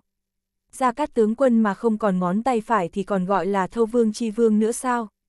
Ngay cả khóa cửa bình thường cũng mở không ra thì không phải là hắn còn thua kém cả một tên trộm hạ đẳng nhất sao. Gia Cát Ánh Huy còn chưa nói hết câu thì đan tăng đa cát liền động sát khí, hàn quan chợt lóe lên, trong tay phải xuất hiện vài thanh đoản đao, chuôi đao màu đen nhánh, mũi đao sáng như tuyết, dài chừng 30cm. Dưới ánh đèn mờ mờ tại bãi đậu xe, những thanh đoản đao lóe lên ánh sáng lãnh khốc. Một lát sau, đan tăng đan cát bước tới một bước, trong nháy mắt đã đến trước mặt Gia Cát Ánh Huy, chiếc đao trong tay hắn không còn thấy đâu chỉ thấy một hình ảnh mờ nhạt trong không trung, nhanh như tia chớp cắt lên động mạch ở cổ của hắn. Khốn kiếp! Gia Cát Ánh Huy chợt giật mình, thân thể nhàn hạ lách qua bên phải né tránh, đồng thời nâng thiết côn trong tay lên, nghênh đón chiếc đao đang đâm tới. Tên khốn này ác như vậy sao, không có chút khoan dung độ lượng, nói đánh là đánh. Xẹt xẹt, trên bầu trời tuôn ra một đốm lửa nhỏ.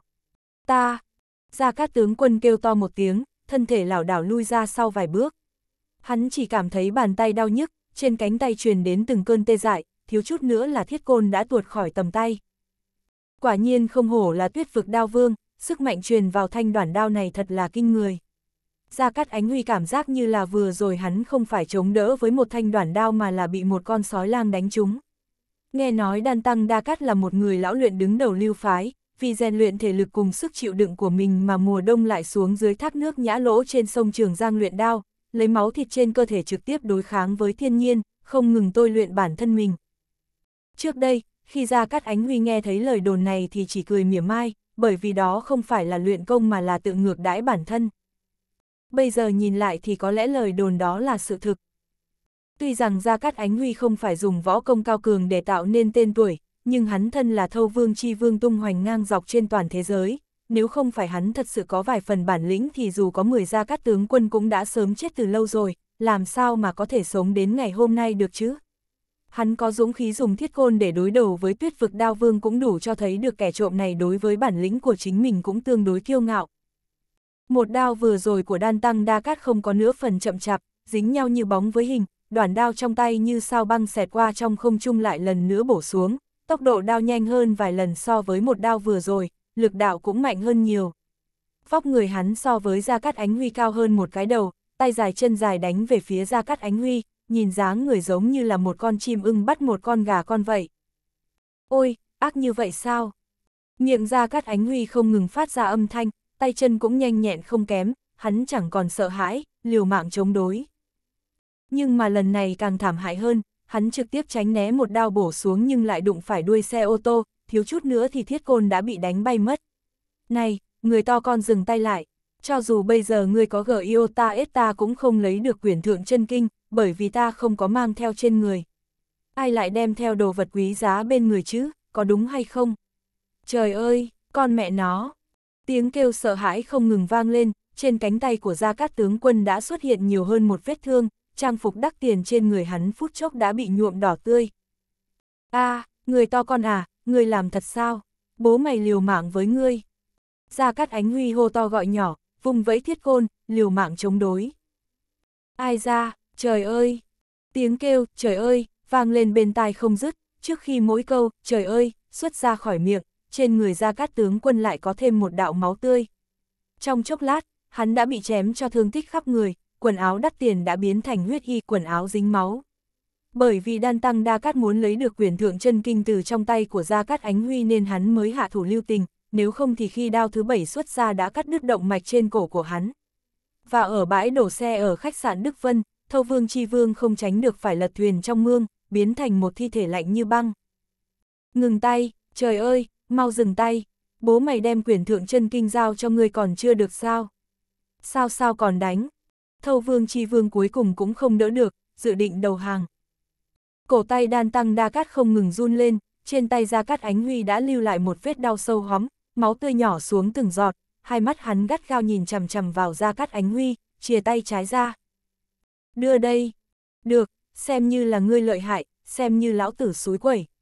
Sắc mặt ra Cát Ánh Huy tái nhợt, thở hổn hển, miệng thì thầm, đưa tay vào trong túi áo lấy ra thứ gì đó. Đan Tăng Đa Cát nhìn chằm chằm vào Gia Cát Ánh Huy, không chớp mắt. chương 22, mèo mun lớn. Cho ngươi. Đột nhiên Gia Cát Ánh Huy giơ tay lên, ánh sáng chói mắt chợt lóe lên, ba cây ngân châm bay thẳng đến Đan Tăng Đa Cát. Ngay sau đó một tiếng vang dội lại, một đám khói mù nổ tung giữa hai người, trong nháy mắt đã che khuất hoàn toàn cơ thể của Gia Cát Ánh Huy. Hừ. Đan Tăng Đa Cát lạnh lùng hừ một tiếng, hất tay áo một cái, bắt lấy toàn bộ ba cây ngân châm, sau đó ánh đao chợt lóe lên, cả người hắn như một mũi tên đã rời khỏi cung bắn thẳng tới phía trước, đột nhiên hắn nhảy vọt qua đám khói mù rồi lướt về phía trước. Trời ơi, người bí y thái à! Một lát sau, Gia Cát Ánh Huy đã lách mình chạy khoảng 10 thước về phía trước. Thật ra hắn cũng không trông chờ là ba cây ngân châm có thể thương tổn được đệ nhất dũng sĩ được mệnh danh là tuyết vực đao vương, nhưng mà trong lúc nguy cấp Gia Cát Ánh Huy đã dùng kế kim thiền thoát xác đánh tới rồi lặng lẽ chuông mất. Thông thường thì kế này rất hữu dụng, những đối thủ ngang tay đều sẽ luống cuống tay chân một hồi, chút thời gian đó cũng đủ cho Gia Cát Ánh Huy trốn thoát. Nói về đánh nhau thì hắn không phải là địch thủ của đan tăng đa cát nhưng nói về chạy trốn thì thâu vương cũng không cần phải sợ đao vương. Ai ngờ đâu đan tăng đa cát căn bản không để ý đến trong đạn khói có cái gì kỳ lạ hay không đã trực tiếp xông qua đám khói mù chạy đến. Gia Cát Ánh Huy nghe sau lưng có tiếng gió gào thét nên vội vàng quay đầu nhìn lại thì liền thấy chiếc đao sáng bóng chỉ cách cổ mình có mấy bước. Lần này thì Gia Cát tướng quân thật sự là vong hồn dưới chiếc đao rồi. Tên này cũng qua bia y thái, không sợ chết nha. Trong lúc này, dù là thâu vương chi vương có đẩy dẫy mưu kế cũng không kịp dùng bất cứ phương pháp gì, chỉ có thể trơ mắt nhìn chiếc đao sáng bóng mang theo không khí rét buốt đâm thẳng tới chiếc cổ mềm mại của mình. Một tiếng nũng nịu vang lên. Đúng vào lúc này, một luồng ánh sáng chói mắt từ bầu trời chiếu xuống, lướt qua đỉnh đầu của Gia Cát Ánh Huy, chạy thẳng đến tuyết vực đao vương. Leng keng, âm thanh kim loại va vào nhau lanh lảnh vang lên không ngớt. Tuyết vực đao vương liền lùi lại mấy bước, sắc mặt cứng rắn như nham thạch cuối cùng cũng thay đổi, cặp lông mày chợt nhíu chặt, gắt gao nhìn một cô gái trẻ đang đứng cách đó không xa. Cô gái này có dáng người thon thả, thướt tha, bàn tay nhỏ bé trắng noãn như ngọc đang cầm một thanh nhuyễn kiếm cực mỏng, cực nhỏ chìa về phía tuyết vực đao vương, thanh kiếm không ngừng rung động. Ngươi là ai? Đan tăng đa cát lạnh lùng hỏi. Hắn bị người khác công kích liên tiếp 7 chiêu mà bản thân chỉ có thể dùng 7 đao để ngăn chặn trong khi không thể đánh trả lại một chiêu. Dù cho hắn có đối mặt với tập kích bất ngờ thì tình hình như thế này cũng chưa từng xảy ra với tuyết vực đao vương. Đệ nhất cao thủ của cao nguyên tuyết vực lập tức ý thức được bản thân mình gặp được đối thủ chân chính, mà còn ở trên thâu vương chi vương đã chạy thoát kia một cấp bậc. Hãy buông tha cho hắn. Tân Lâm không trả lời câu hỏi của Đan Tăng Đa Cát, chỉ lạnh nạt nói. Đan Tăng Đa Cát lạnh lùng hừ một tiếng, hít một hơi thật sâu, chống ngực đánh thùng thùng, từ từ giơ thanh chiết đao lên, mặt mũi rất nghiêm túc rẻ chừng, hoàn toàn không giống với vẻ ung dung thoải mái như khi đối mặt với Gia Cát Ánh Huy vừa rồi. Tân Lâm im lặng không thèm nói thêm gì nữa, nguyên kiếm trong tay đã ngừng rung động lại trực tiếp chìa thẳng về phía Đan Tăng Đa Cát. Sự việc thay đổi trong chốc lát, Gia Cát Ánh Huy cũng chố mắt đứng nhìn, vẻ mặt vô cùng ngạc nhiên không hiểu lý do tại sao. Có trời mới biết là cái vị cứu tinh đã cứu hắn thoát chết trong gan tấc này là từ đâu đi ra. Lại càng không biết vì sao người này lại muốn cứu hắn. Nhưng mà sự việc đã phát sinh như vậy thì thâu vương chi vương cũng rất khôn ngoan mà thầm nghĩ. Lúc này không đi còn đợi lúc nào nữa. Gia Cát Ánh Huy cong người một cái rồi nhảy qua một chiếc xe nhỏ chạy về phía lối đi cách đó khá xa, vì ở nơi đó hắn có để một chiếc xe ô tô dự phòng. Thâu vương chi vương vừa chuyển động thì tuyết vực đao vương cũng chuyển động, miệng gầm nhẹ một tiếng, chiếc đao trong tay liên tục vung vẩy đâm thẳng về phía tân lâm. Hắn tuyệt đối không thể dương mắt nhìn ra cát ánh huy chạy mất. Đoạt lại quyền thượng kinh văn mà ba đại sư viết tay chính là mệnh lệnh mà thủ lĩnh đại lại ma đã hạ cho hắn, nếu như hắn không thể hoàn thành được nhiệm vụ này thì khi trở về hắn nhất định sẽ bị đại lạt ma trừng phạt, một việc quan trọng liên quan đến tính mạng như vậy thì tuyết vực đao vương làm sao có thể buông tha người này được chứ?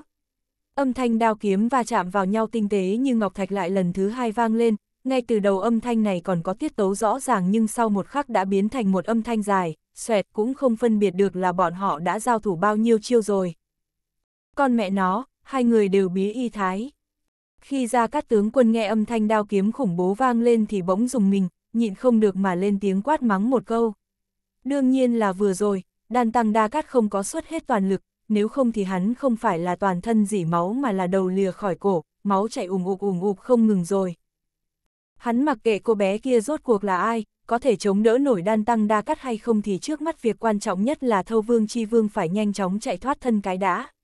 Ba bước gộp thành hai bước chạy vào tới chiếc xe màu đen hiệu phong điền có rèm che, thò tay mở cửa xe rồi lập tức đặt mông ngồi xuống ghế của tài xế. Trời đất, ngươi là ai? Sau một khắc, Gia Cát tướng quân lại nhảy dựng lên, kinh ngạc đến trợn to hai mắt nhìn chằm chằm vào một cậu thanh niên trẻ tuổi đang ngồi kế bên ghế tài xế. Với thị lực sắc bén của thâu vương chi vương mà trước khi lên xe lại không hề phát hiện chỗ ngồi kế bên ghế tài xế đã có người ngồi. Không đúng. Trong xe này không chỉ có một người ngồi. Ngay sau đó, Gia Cát Ánh Huy chỉ cảm thấy sau ót ớn lạnh, theo bản năng đã phát giác có một luồng hơi thở cực kỳ nguy hiểm, dường như là bản thân mình vừa có hành động nào thì người phía sau bất cứ lúc nào cũng có thể xuất thủ lấy đi tính mạng của mình. Gia Cát Ánh Huy không dám quay đầu lại, trong chớp mắt liền liếc nhìn kính chiếu hậu. Trời đất, ngay cả quỷ ảnh cũng không thấy một cái. Nhưng mà luồng hơi thở cực kỳ nguy hiểm kia lại rất chân thực, hắn cảm giác như đã có một con dao nhỏ kề phía sau cổ của mình vậy. Ngươi, ngươi vừa rồi cũng ở đại sảnh tiệc rượu, ta đã gặp qua ngươi, ngươi là... Gia Cát Ánh Huy không dám lộn xộn, trong mắt đảo liên tục, đột nhiên hắn nghĩ tới là mình quả thật đã gặp qua cậu thanh niên này, hình như là cán bộ của cục tôn giáo, đã cùng với đạt nhĩ khách lạt ma bắt tay, tán gẫu đôi ba câu. Tiêu phàm liền cười, để lộ hàm răng trắng tinh chỉnh tề. Gia Cát tiên sinh, nếu ta là người thì ta sẽ lập tức rời khỏi nơi này rồi mới nói chuyện. Giọng nói êm dịu làm cho người cảm giác ngập tràn vui sướng, tựa như hai người bọn họ là bạn cũ lâu năm gặp lại vậy. Được. Gia Cát Ánh Huy cắn răng, gật đầu một cái. Hắn cũng không biết tại sao mà mặc dù tiêu phàm nhã nhặn, lịch sự, trầm tĩnh không biểu lộ một chút độc ác nào nhưng hắn lại cảm thấy ra đầu tê dại, vô cùng khẩn trương, không hề mở miệng phản bác lời nói của tiêu phàm. Tính cách của Gia Cát tướng quân rất đặc biệt, cho dù tuyết vực đao vương có chém hắn đến máu thịt lẫn lộn, khắp người đều là vết thương thì hắn cũng theo đó mà mắng chửi không ngừng. Tại tiệc rượu sang trọng ở khách sạn 7 sao, phần lớn là những nhân vật quan trọng trong giới chính trị, lấy tư cách là một nhân vật tiếng tăm lừng lẫy trong giới thương nhân, ra các tướng quân vẫn giữ tác phong nhanh nhẹn, đi qua đi lại như con thoi trong đó, cùng đại vương dầu hỏa nâng chén uống rượu, cùng người mẫu thế giới tán tỉnh cười đùa, không lộ một kẽ hở nào, trang nghiêm như một thương nhân giàu có một phương. Nhưng một kẻ ở khu nhà ổ chuột bẩn thỉu nhất cũng có thể thấy bóng dáng của thâu vương chi vương cùng một đám người dân lao động lăn lộn chung một chỗ, cùng uống loại rượu trắng rẻ tiền nhất, ăn một nồi lẩu rất cay mà chỉ lên trời mắng chửi, tại sao ai cũng nhìn không ra hắn và những người đó có gì khác nhau. Chỉ duy nhất có người thanh niên nhã nhận lịch sự, nhu hòa này lại cho hắn áp lực to lớn như vậy. Con mẹ nó, sao kỳ lạ vậy? Trong lòng ra cắt ánh huy âm thầm chửi một câu, tay chân cũng không có nửa điểm chậm trễ, nhanh nhẹn nổ máy, linh hoạt lái xe rời khỏi bãi đậu xe của khách sạn. Mặc dù võ công của hắn thua xa đan tăng đa cắt nhưng bởi vì hắn để phòng nghiêm ngặt che chở những bộ phận quan trọng nên hắn chỉ bị thương ngoài da nhưng mà máu chảy hơi nhiều, hắn phải nhanh chóng nghĩ biện pháp cầm máu mới được.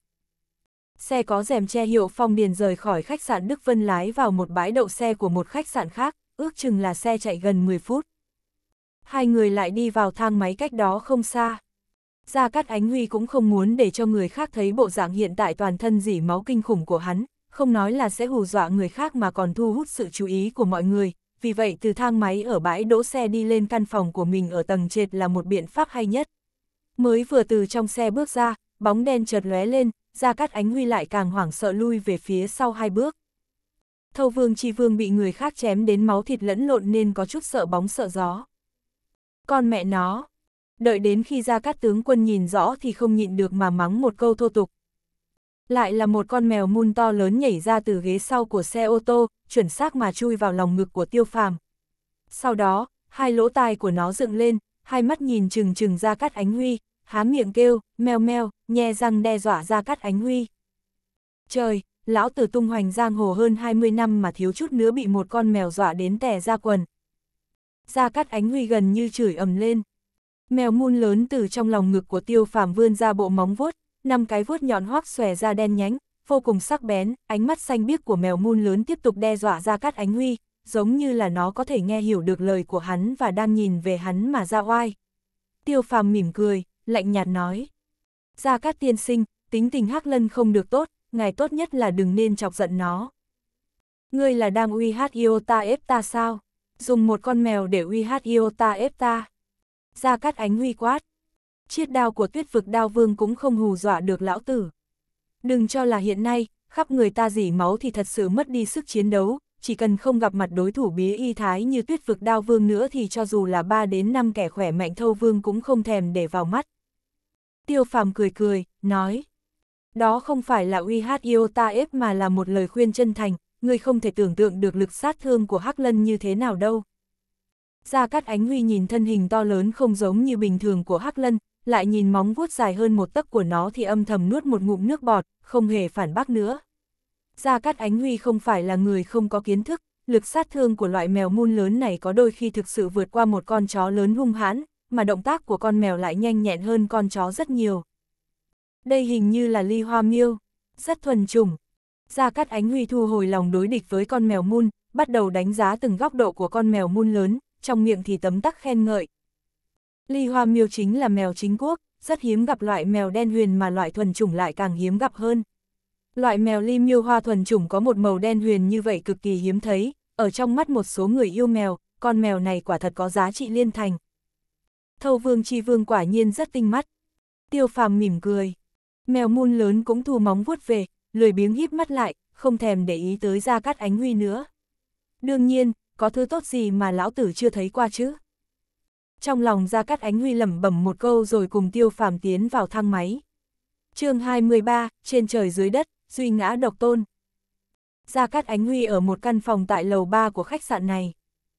Đoán chừng đây là độ cao cực hạn mà Gia Cát Ánh Huy tự nhận là an toàn, nói cách khác dù hắn trực tiếp nhảy xuống không dùng bất cứ dụng cụ trợ giúp nào cũng sẽ không bị thương. Đương nhiên đây là việc mà chỉ có mình Gia Cát Ánh Huy có thể làm được, đổi lại là một người khác thì e rằng sẽ bị rơi đến óc não vỡ tung. Lầu ba cũng cao đến 8-9 thước. May mắn là từ bãi đỗ xe đến căn phòng đều không có đụng phải người nào cả. Anh bạn tên là gì vậy? Gia Cát Ánh Huy vừa vào cửa thì lập tức hỏi, trong mắt tràn đầy vẻ tò mò. Đan Tăng Đa Cát ở bãi đỗ xe chờ hắn, nói tới thì trước đó người ta vốn đặt một cái bẫy cho hắn chui vào. Cũng không biết là cái người thanh niên trầm ổn, nhã nhận lịch sự này cùng với cô gái đột nhiên xuất hiện kia có lai lịch như thế nào. Tiêu phàm cười cười, đáp. Tiêu nhất hành. Gian phòng mà Gia Cát Ánh Huy ở rất đúng chuẩn thông thường, những thiết bị trong phòng cũng rất bình thường. Nơi này rất phù hợp với tác phong nghề nghiệp của Thâu Vương, cố gắng biểu hiện bình thường nhất không hiện chút sơ hở nào, lại càng không khoe khoang. Tiêu tiên sinh, tiêu phàm khoát tay áo cắt ngang lời nói của Gia Cát Ánh Huy, sau đó nói. Gia Cát tiên sinh, hay là trước tiên ngài hãy xử lý vết thương một chút đi. Tuy rằng đều là vết thương ngoài da nhưng nếu máu chảy quá nhiều thì sẽ dẫn đến thân thể suy nhược. Được, vậy thì mời tiêu tiên sinh chờ một chút. Gia Cát Ánh Huy cũng không phản đối đề nghị này của tiêu phàm, xoay người đi vào phòng vệ sinh, mới vừa đi vào lại thò đầu ra, vừa cười vừa nói. Tiêu tiên sinh, ngài không sợ tôi từ phòng vệ sinh chạy mất sao? Tiêu phàm mỉm cười, nói. Không lo lắng. Gia Cát Ánh Huy liền giơ ngón tay cái lên. Chờ khi ra cắt Ánh Huy từ phòng vệ sinh đi ra thì mới phát hiện trong phòng có thêm một người, chính là cô gái đã ra tay cứu hắn. Tiêu Nhất Hành ngồi ở ghế dựa thưởng thức trà nóng, cô gái thì im lặng đứng bên cạnh hắn, bình thản như nước, không có chút dấu hiệu nào chứng tỏ cô vừa mới giao thủ với một cao thủ nhất đẳng như tuyết vực đao vương. Nhìn qua chẳng những cô không có chút thương tổn nào, ngay cả quần áo trên người cũng rất chỉnh tề, tóc cũng không có chút rối loạn giống như cô vẫn luôn đứng ở nơi này, cũng chưa từng đi qua chỗ kia. Gia Cát Ánh Huy vừa thay một bộ quần áo khác, không còn là bộ quần áo hàng hiệu đắt tiền nữa mà là một bộ quần áo rất bình thường. Nếu như hành tung của hắn đã bị bại lộ mà lại mặc quần áo hàng hiệu rêu rao gây sự chú ý thì chẳng phải là không thích hợp sao. Ngoại trừ sắc mặt có chút tái nhợt thì Gia Cát Ánh Huy cũng không có gì khác thường, một chút cũng không nhìn ra hắn vừa mới bị người ta chém 7-8 nhát đao, toàn thân đều là vết máu cả. Hắn hành tẩu ở trên giang hồ hơn 20 năm giành được danh tiếng thâu vương chi vương lớn như thế thì đương nhiên là năng lực sinh tồn cùng với năng lực ứng biến nhất định phải có chỗ cao thâm rồi. Gia Cát Ánh Huy nhìn thấy Tân Lâm thì có chút ngẩn người, nói. Nhanh như vậy đã bỏ rơi đao vương. Tân Lâm lạnh nhạt nói. Muốn gỡ yêu ta ít hắn không dễ dàng nhưng nếu muốn thoát thân thì không phải là vấn đề lớn. Gia Cát Ánh Huy lại giơ ngón tay cái lên một lần nữa. Hai người này đúng là châu bò mà. Một cô gái xinh đẹp lại trẻ tuổi như vậy, nhìn qua chắc cũng không vượt quá 30 tuổi. Trên giang hồ, kỳ nhân dị sĩ không ít nhưng người nổi bật như vậy, ngay cả tuyết vực đao vương cũng không thể làm gì thì không có nhiều. Tiêu tiên sinh, nói trắng ra đi, hôm nay ngài cứu tôi chắc chắn không phải vì hành hiệp trượng nghĩa. Gia Cát Ánh Huy tôi chính là một người xấu, cho dù ngài muốn hành hiệp trượng nghĩa cũng không tội gì phải cứu tôi cả. Nếu như ngài muốn tôi làm cái gì thì cứ nói thẳng. Mà nè, tôi phải nói trước, nếu như ngài là người của quốc an vậy thì miễn, cho dù ngài có bắt tôi thì tôi cũng sẽ không đáp ứng bất cứ điều kiện gì. Cho dù đối mặt với một cao thủ có thể so chiêu với tuyết vực đao vương cùng một vị cao nhân càng cao thâm hơn thì Gia Cát Ánh Huy vẫn rất có khí phách. Từ trước đến nay, hắn vốn làm việc một mình, là một người có bản lĩnh ưu việt, hắn đều có nguyên tắc của mình nên sẽ không tùy tiện thay đổi. Hắn không muốn hợp tác với Quốc An cũng vì một nguyên nhân trong quá khứ, Gia Cát Ánh Huy vẫn luôn tự xưng là người giang hồ, chiếu theo quy củ của giang hồ mà hành động. Nếu như người giang hồ mà có hành động bí mật thì sẽ không thể nào giải thích rõ được và dần dần người đồng đạo sẽ bài xích mình. Gia Cát tiên sinh, tiêu phàm vừa mới mở miệng liền bị Gia Cát Ánh Huy lên tiếng ngăn chặn. Gia Cát tướng quân bỗng nhiên trợn to hai mắt, gắt gao nhìn chăm chú vào Tân Lâm, trong miệng kinh ngạc, a một tiếng rồi kêu lên, thuật dịch dung thật là cao minh. Vị tiểu thư này là truyền nhân của môn phái nào? Chật, thuật dịch dung cao minh như vậy cho dù là Gia Cát ta hay bất cứ người nào khác cũng khó mà nhận ra được. Gia Cát Ánh Huy vừa nói, vừa liên tục lắc đầu như là hắn vô cùng xúc động. Tiêu phàm phá lên cười, vị thâu vương chi vương này thật là một người đặc biệt. Ngay lúc này mà hắn còn tâm tình để nghiên cứu thuật dịch dung. Tân Lâm lạnh lùng nói, tốt nhất là ngươi nên quan tâm đến tình hình trước mắt của mình đi. Gia Cát Ánh Huy vỗ ót một cái, nói, đúng, ngài xem tôi cuối cùng lại vì việc này mà để lỡ chuyện chính đáng. Được rồi, tiêu tiên sinh có điều kiện gì thì cứ nói ra. Gia Cát tiên sinh, chúng tôi không phải là người của quốc an. Lúc tông khách bà đại sư ngộ đạo có viết tay một cuốn kinh văn quyển thượng, xin lấy ra đi, tôi muốn xem một chút. Tiêu phàm thưởng thức nước trà, không nhanh không chậm mà nói. Ngài cũng vì quyển kinh văn này mà tới sao? Trời, tôi cho ngài y biết cuốn kinh văn này đối với bọn mật tông hoàng giáo đương nhiên là bảo vật vô giá, nhưng ở trong mắt tôi thì nó không có giá trị gì cả. Kinh văn kia tôi đã nghiên cứu cả buổi mà vẫn không hề hiểu. Tiêu tiên sinh à, nếu như ngài không phải là tín đồ của Phật giáo thì tôi khuyên ngài tốt nhất là bỏ đi vì có cầm cũng vô dụng. Nếu như tôi là ngài thì sẽ tìm thứ gì đó hữu dụng. Tôi đoán là tiền chuộc, nhất định không ít, nếu như đã bị ngài đuổi kịp thì cho dù ngài có đòi hỏi nhiều ta cũng sẽ đáp ứng. Trên thế giới này, thứ mà tôi lấy không được cũng không nhiều lắm. Gia Cát Ánh Huy trầm tư suy nghĩ, dáng vẻ rất thẳng thắn. Lời Gia Cát Ánh Huy vừa nói cũng không phải là hoàn toàn khoát lát, cho dù hiện giờ hắn lấy không được thì cũng có thể trộm được. Danh hiệu, Thâu Vương Chi Vương, chẳng lẽ chỉ để gọi cho vui. Gia Cát tiên sinh, tôi vẫn muốn lấy kinh văn. Trời, ngài thật là cố chấp mà.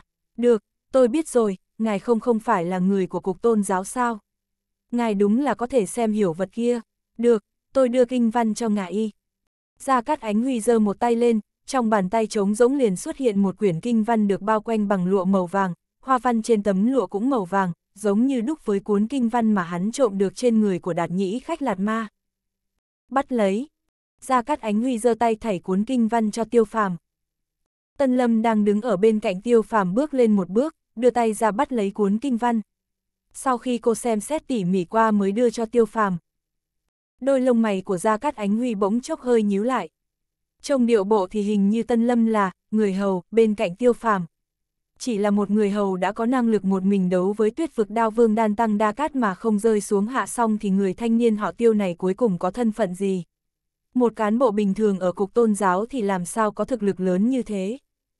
Tiêu phàm không thèm quan tâm đến vẻ kinh ngạc của Gia Cát Ánh Huy, chậm rãi mở tấm lụa bọc xung quanh ra, thì ra bên trong là một cái hộp hình trụ, vừa mở hộp ra thì một quyển sách làm bằng da màu đen xuất hiện, cầm vào tay rất là mềm mại, có lẽ nó được làm từ da dê thượng hạng. Tiêu phàm liền cầm lên, chậm rãi mở cuốn da dê. Mặt trên cuốn da dê có vẽ một vị tăng nhân đang ngồi thiền, một tay chỉ lên trời, một tay chỉ xuống đất. Căn cứ vào ghi chép của mật tông hoàng giáo thì tông khách ba đại sư chứng minh lời nói của mình bằng cách bày ra tư thế như vậy, ngụ ý là trên trời dưới đất, duy ngã độc tôn. Lấy tư cách là người sáng lập đạo giáo, tông khách ba đại sư thật có tư cách nói như vậy. Sau đó là những kinh văn viết tay chẳng chịt, chữ viết vô cùng ẩu. Tân Lâm chỉ liếc nhìn một cái liền đầu óc choáng váng nên lập tức nghiêng đầu qua chỗ khác không nhìn nữa. Gia Cát Ánh Huy liền cười hắc hắc, xem ra người xem không hiểu kinh văn không chỉ có mình thâu vương chi vương hắn. Nhưng tiêu phàm hiển nhiên có thể hiểu rõ, nghiêm túc xem từng chữ từng chữ, vẻ mặt rất chuyên chú. Thỉnh thoảng trong miệng còn khẽ nói thầm một đôi lời, xem ra cậu ta đã hoàn toàn chìm đắm trong kinh văn. Liên quan tới cử động tay của tông khách ba đại sư trên quyển kinh văn, mật tông hoàng giáo cũng không phải là chưa từng truyền bản dịch của quyển kinh văn này cho đời sau, nhưng nếu như để nguyên văn thì sẽ có sự khác nhau rất lớn. Bản dịch có xuất xứ từ cao tăng đời sau nên không tránh được việc cao tăng đời sau dịch theo quan điểm của mình. Nói cách khác, những bản dịch lại không thể đại biểu cho những gì tông khách ba đại sư nói. Ít nhất là không thể hoàn toàn truyền tải được, phải nói là cao tăng đời sau, nói, mới đúng. Kinh văn không dài. Trên quyển da dê nho nhỏ có thể viết được bao nhiêu chữ chứ? Ước chừng tiêu phàm xem khoảng nửa canh giờ thì chậm rãi đóng quyển da dê lại, hai mắt khép hờ suy nghĩ trong chốc lát mới mở mắt ra rồi cầm quyển da dê cất vào hộp hình trụ giao cho Tân Lâm. Được rồi, kinh văn đã giao cho ngươi, vậy ta có thể đi được chưa? Gia Cát Ánh Huy vỗ vỗ tay, đứng dậy, nói. Mặc dù có chút không đành lòng nhưng Thâu Vương cũng biết đối mặt với hai vị châu bò như vậy thì hắn muốn lấy lại quyển kinh văn là không thể. Huống chi, đây là thù lao tạ ơn người ta đã cứu hắn nên hắn cũng không có dự định là sẽ lấy trở về. Gia Cát tiên sinh, hãy bình tĩnh lại, chớ có nóng vội. Tiêu phàm mỉm cười khoát khoát tay, ngồi vững vàng trên ghế, không có nửa điểm muốn chấm dứt cuộc nói chuyện. Gia Cát Ánh Huy cũng không ngồi xuống mà đứng hai tay ông ngực, nhìn tiêu phàm, nói. Tiêu tiên sinh, có phải ngài cho rằng thù lao này không đủ? Đừng ngại, ngài cứ nói đi, ta sẽ cố gắng thỏa mãn yêu cầu của ngài. Cho dù thế nào thì ta cũng cho rằng cái mạng này của ta rất đáng giá nên thù lao long trọng là điều đơn nhiên, không tính đến việc ngài có ý định thừa nước đục thả câu. Giọng điệu của Gia Cát Ánh Huy mang theo ba phần châm chọc. Tính tình của vị thâu vương này thật đúng là một trình rảo kim đánh không chết mà. Tiêu phàm vừa cười, vừa nói. Gia Cát tiên sinh, ta không muốn lấy cuốn kinh văn này của ngài chỉ là ta tạm thời bảo quản trong ba tháng. Trong vòng ba tháng, nếu ngài lấy trường Xuân Hương đến trao đổi thì ta sẽ trả kinh văn lại cho ngài. Cái gì? Tiêu phàm nói chưa dứt lời thì ra cát ánh huy đã nhảy dựng lên, vẻ mặt rất khó tin. Kinh văn này ngài cứ cầm lấy đi, không cần trả lại ta đâu. Dùng ba thanh trường Xuân Hương tới trao đổi kinh văn, vậy mà ngài cũng nghĩ ra được. Kinh văn này ta lấy cũng không thể dùng, cho ngài cho ngài, ta không cần. Hai chúng ta chấm dứt nợ nần nhé. Tiêu phàm cũng không tức giận, ánh mắt bình thản nhìn ra cát ánh huy, mỉm cười, nói. Gia Cát tiên sinh, không phải ba thanh trường Xuân Hương đổi kinh văn mà là dùng chúng để đổi lấy một cái mạng của thâu vương chi vương. Có lẽ ta nói như vậy thì Gia Cát tiên sinh đã hiểu rõ rồi chứ. Gia Cát Ánh Huy lập tức trợn tròn mắt nhìn chằm chằm tiêu phàm. chương 24, Thảo Nguyên đáng sợ. Ngươi có ý gì chứ? Gia Cát Ánh Huy nhìn chằm chằm vào tiêu phàm một lúc rồi lên tiếng hỏi, giọng nói vô cùng lạnh lùng mà trước đây chưa từng nghe. Tiêu phàm thản nhiên nói. Ba tháng sau, nếu như không có trường Xuân Hương thì ta sẽ đi tìm đan tăng đa cát, dùng kinh văn để đổi lấy đầu của ngươi. Gia Cát tiên sinh à, chẳng phải chính ngươi cũng nói là ngươi cũng không tốt lành gì sao, mà ta cứu ngươi đương nhiên là có mục đích, ta cũng không phải là người tốt hao tổn tinh thần cứu người mà không cần đền đáp. Gia Cát Ánh Huy nhất thời nghẹn họng, tức giận, hét lên. Vì sao nhất định là trường Xuân Hương, người đổi thứ khác không được sao, ta cho người biết, ta chắc chắn không đi cao nguyên, ta không muốn chạm trán với người điên bột nhi TH yêu ta ép xích na. Con dã lang đó sẽ đem ta phân thành tám khúc, không, kẻ phân ta thành tám khúc không phải bạch lang mà là đông bắc hổ vương kia. Mà bột nhi TH yêu ta ép xích na sẽ đem ta đi ngũ mã phân thây. Ta không đi, Gia Cát Ánh Huy chỉ tưởng tượng thôi đã thấy vô cùng sợ hãi, nhìn vẻ mặt của hắn cũng không giống như là giả bộ, lúc hắn nói tới con dã lang kia thì vẻ mặt vô cùng sợ hãi. Bột nhi TH Iota F Signa là theo ngôn ngữ Mông Cổ, tiếng Hán chính là thương lang. Người có quyền lựa chọn sao? Tân Lâm bỗng nhiên ngắt lời, hỏi. Vừa rồi, nếu như lão tử không thể tránh khỏi thì cùng lắm chỉ rửa tay không làm, ta trốn vào rừng sâu xem lạt ma đó đi nơi nào tìm được ta. Gia Cát Ánh Huy kêu lên, kiên quyết không chịu đi trộm trường Xuân Hương, dường như bột nhi TH Iota F xích mông cổ so với tuyết vực đao vương càng khiến hắn sợ hãi hơn nhiều. Tiêu phàm khẽ cười nói. Thâu vương chi vương, ngươi không tránh được đâu, nếu như ta đã tìm được ngươi thì về sau, cho dù ngươi có trốn đến nơi nào, ta đều có thể tìm được. Vẫn là câu nói kia, ba tháng sau đem trường Xuân Hương đến đổi thì ta sẽ trả lại kinh văn cho ngươi, nếu không ta sẽ lập tức nói cho đan tăng đa cát biết chỗ ẩn náu của ngươi, để cho hắn đem đầu ngươi đến đổi kinh văn, mà ngươi hẳn biết vị đệ nhất cao thủ mật tông này không tìm được kinh văn sẽ không trở về. Ngươi khoát lát, Gia Cát Ánh Huy cười mỉa, hắn thực sự không tin. Thân là thâu vương chi vương, bản lĩnh tìm đồ vật là hạng nhất, đồng thời bản lĩnh ẩn núp cũng không ai bằng. Có rất nhiều người nói, hắn hoàn toàn có thể đem một món bảo vật quốc gia có giá trị liên thành đi giấu. Tiêu phàm mỉm cười, tay phải khẽ nhúc nhích, giở một quẻ. Gia Cát tiên sinh, điểm dừng chân của ngươi ở thủ đô này nằm về hướng đông bắc 5 cây số, con số cuối cùng trong số nhà của ngươi là số 7 đúng không? Ba ngày trước, người ở Thiết Môn, bảy ngày trước, người ở Minh Châu. Còn cần ta nêu lên thêm nữa không? Ngươi, ngươi, ngươi theo dõi ta sao? Còn dám nói ngươi không phải là người của quốc an. Gia Cát Ánh Huy ngẩn ra, lập tức la to lên, vẻ mặt dường như rất tức giận. Tiêu phàm lắc đầu, lạnh nhạt nói. Gia Cát tiên sinh phải biết rằng để biết rõ hành tung của ngươi không nhất thiết phải theo dõi, giống như ngươi trộm đồ của người khác không nhất định phải đối mặt với gia chủ. Ở lĩnh vực của ngươi, ngươi là hạng nhất nhưng cái này cũng không chứng tỏ ngươi cũng rất giỏi ở những lĩnh vực khác. Trên thế giới này có rất nhiều hiện tượng không thể giải thích được. Ta không phải là đệ nhất, hạng nhất là thượng đế chi thủ, ta chỉ đứng thứ hai. Gia Cát Ánh Huy lập tức lên tiếng đính chính, vẻ mặt rất nghiêm túc. Tân Lâm hơi nhíu mày, nói. Ngươi nói nhiều quá, đồng ý thì nói là đồng ý, không đồng ý thì cứ nói không đồng ý, nam tử Hán đại trượng phu phải quyết đoán một lời chứ, cứ thoái thắt mãi, ngươi cho rằng bổn cô nương ta không dám làm gì ngươi sao. Gia Cát Ánh Huy có chút do dự, dường như đối với lời nói của tiêu phàm có chút bán tín bán nghi. Người thanh niên này luôn luôn cho hắn một cảm giác bí hiểm, hay là hắn ta thật sự có phương pháp cổ quái có thể điều tra được hành tung của hắn. Gia Cát Ánh Huy vừa nghĩ đến điểm này thì cả người chợt ớn lạnh. Thử nghĩ một vị thâu vương chi vương mà để cho người khác, theo dõi, thời thời khắc khắc thì đó là chuyện kinh khủng đến bực nào chứ. Gia Cát Ánh Huy cảm thấy người này nói được làm được, thật sự có thể khiến đan tăng đa cát lần thứ hai tìm được hắn. Nếu như tuyết vực đao vương lại lần nữa có được vận khí tốt để đoạt lại quyển kinh văn như ngày hôm nay thì kẻ đó sẽ tuyệt đối không trần chờ mà cắt đầu của hắn. Được rồi, ta có hai vấn đề. Gia Cát Ánh Huy lại ngồi xuống, nói. Tiêu phàm khẽ gật đầu. Thứ nhất, tại sao ngươi muốn trường Xuân Hương? Theo ta biết được thì thứ đồ chơi kia đối với tu chân đạo gia không có lợi ích gì. Gia Cát Ánh Huy nghi ngờ hỏi. Cái gọi là Trường Xuân Hương, thực ra vô cùng danh tiếng. Nghe nói năm đó, Trường Xuân chân nhân sống ở phương Tây, thành cát tư hán cũng rất kính nể đại đức nên đã căn cứ theo toa thuốc mà sai người luyện chế ra an thần hương. Trường Xuân chân nhân được trưởng giáo giáo chủ của toàn chân giáo Tống Kim Mạt đứng đầu thiên hạ đạo giáo, tổ sư của Long Môn phái ra lệnh phong làm Trường Xuân đạo giáo chủ chân nhân.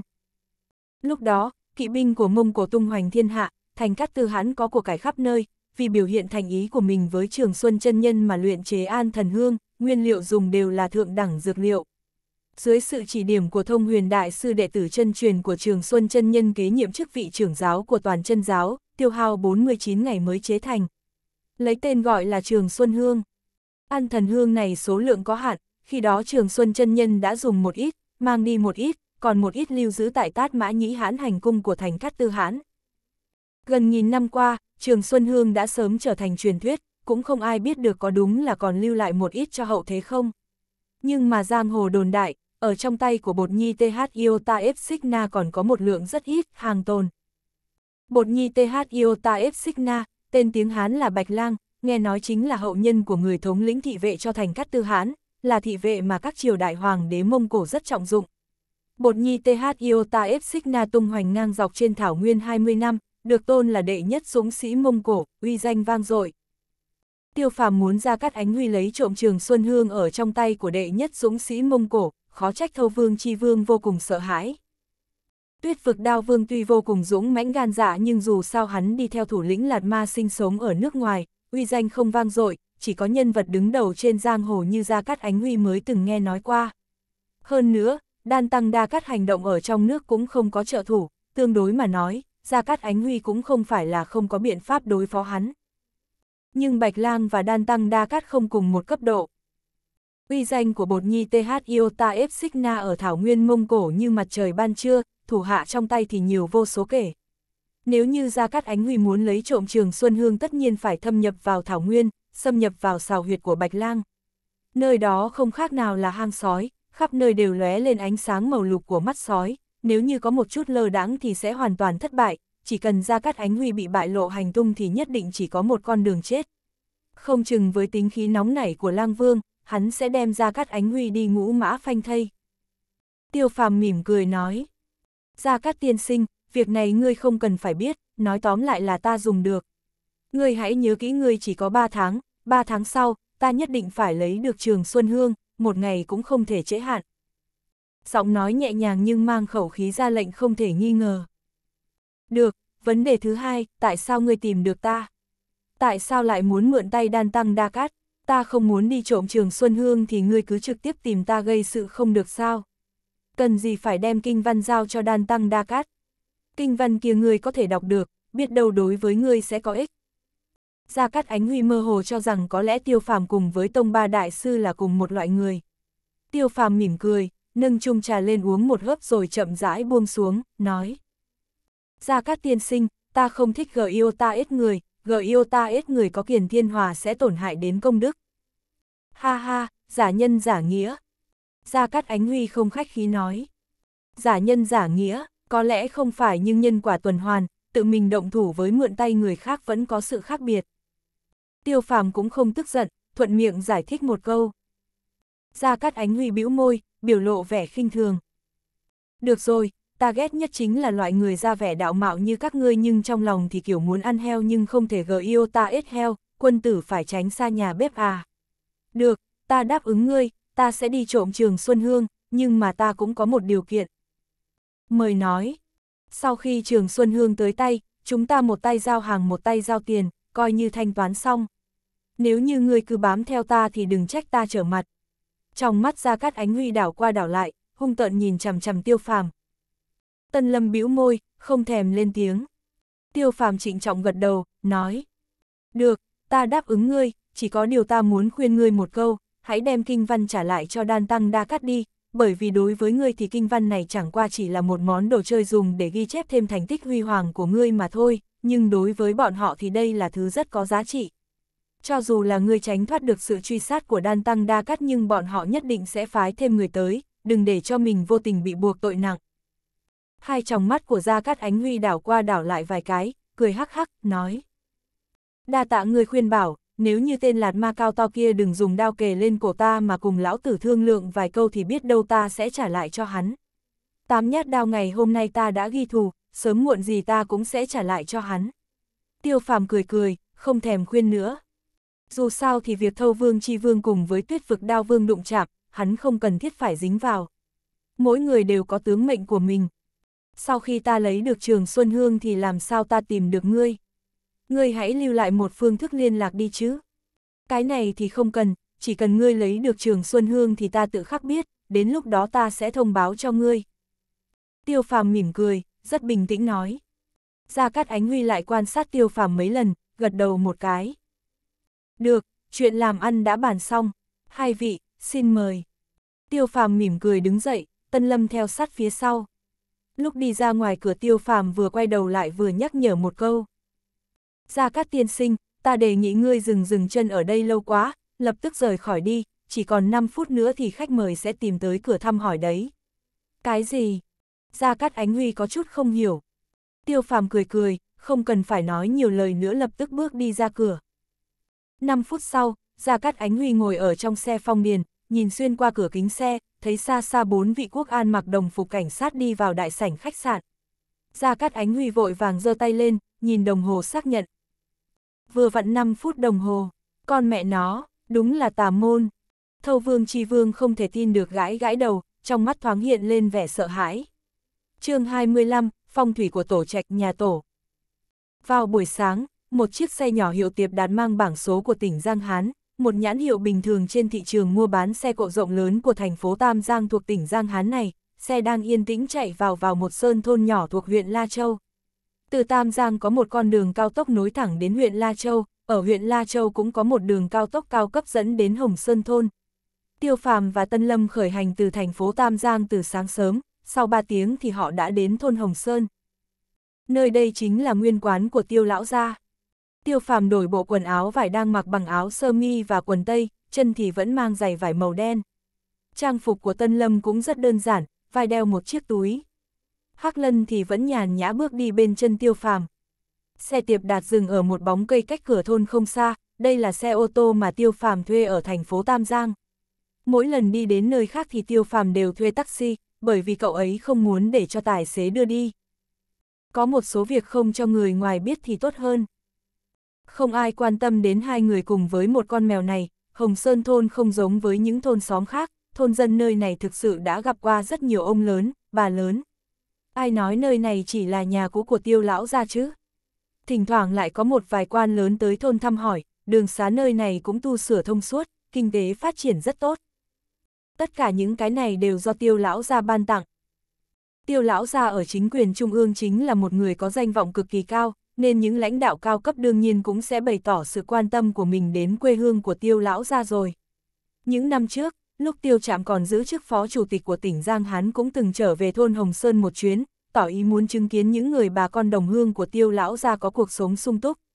Những lãnh đạo chịu trách nhiệm chính ở thành phố La Châu và huyện La Châu đều ghi nhớ rõ ràng lời nói này của phó chủ tịch tiêu, không dám chậm trễ.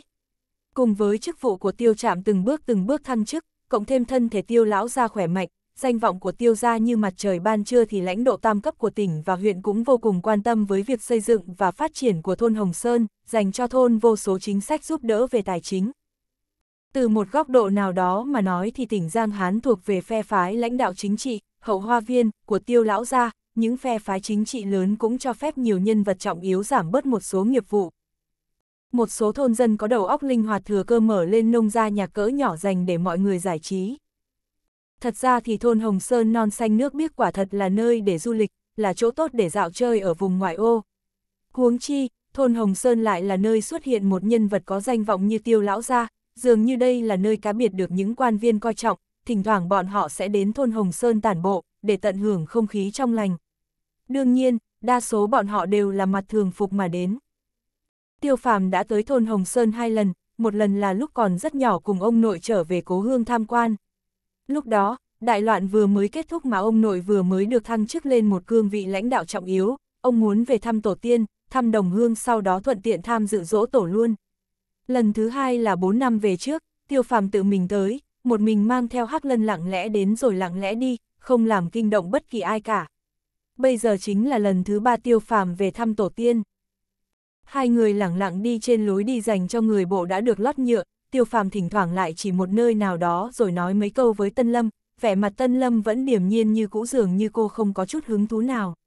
Nhưng mà mỗi lần tiêu phàm nói chuyện với cô thì một đôi mắt to trong suốt như nước sẽ trở nên vô cùng sáng ngời, loại biến hóa này rất nhỏ, cũng không biết là tiêu phàm có chú ý tới không.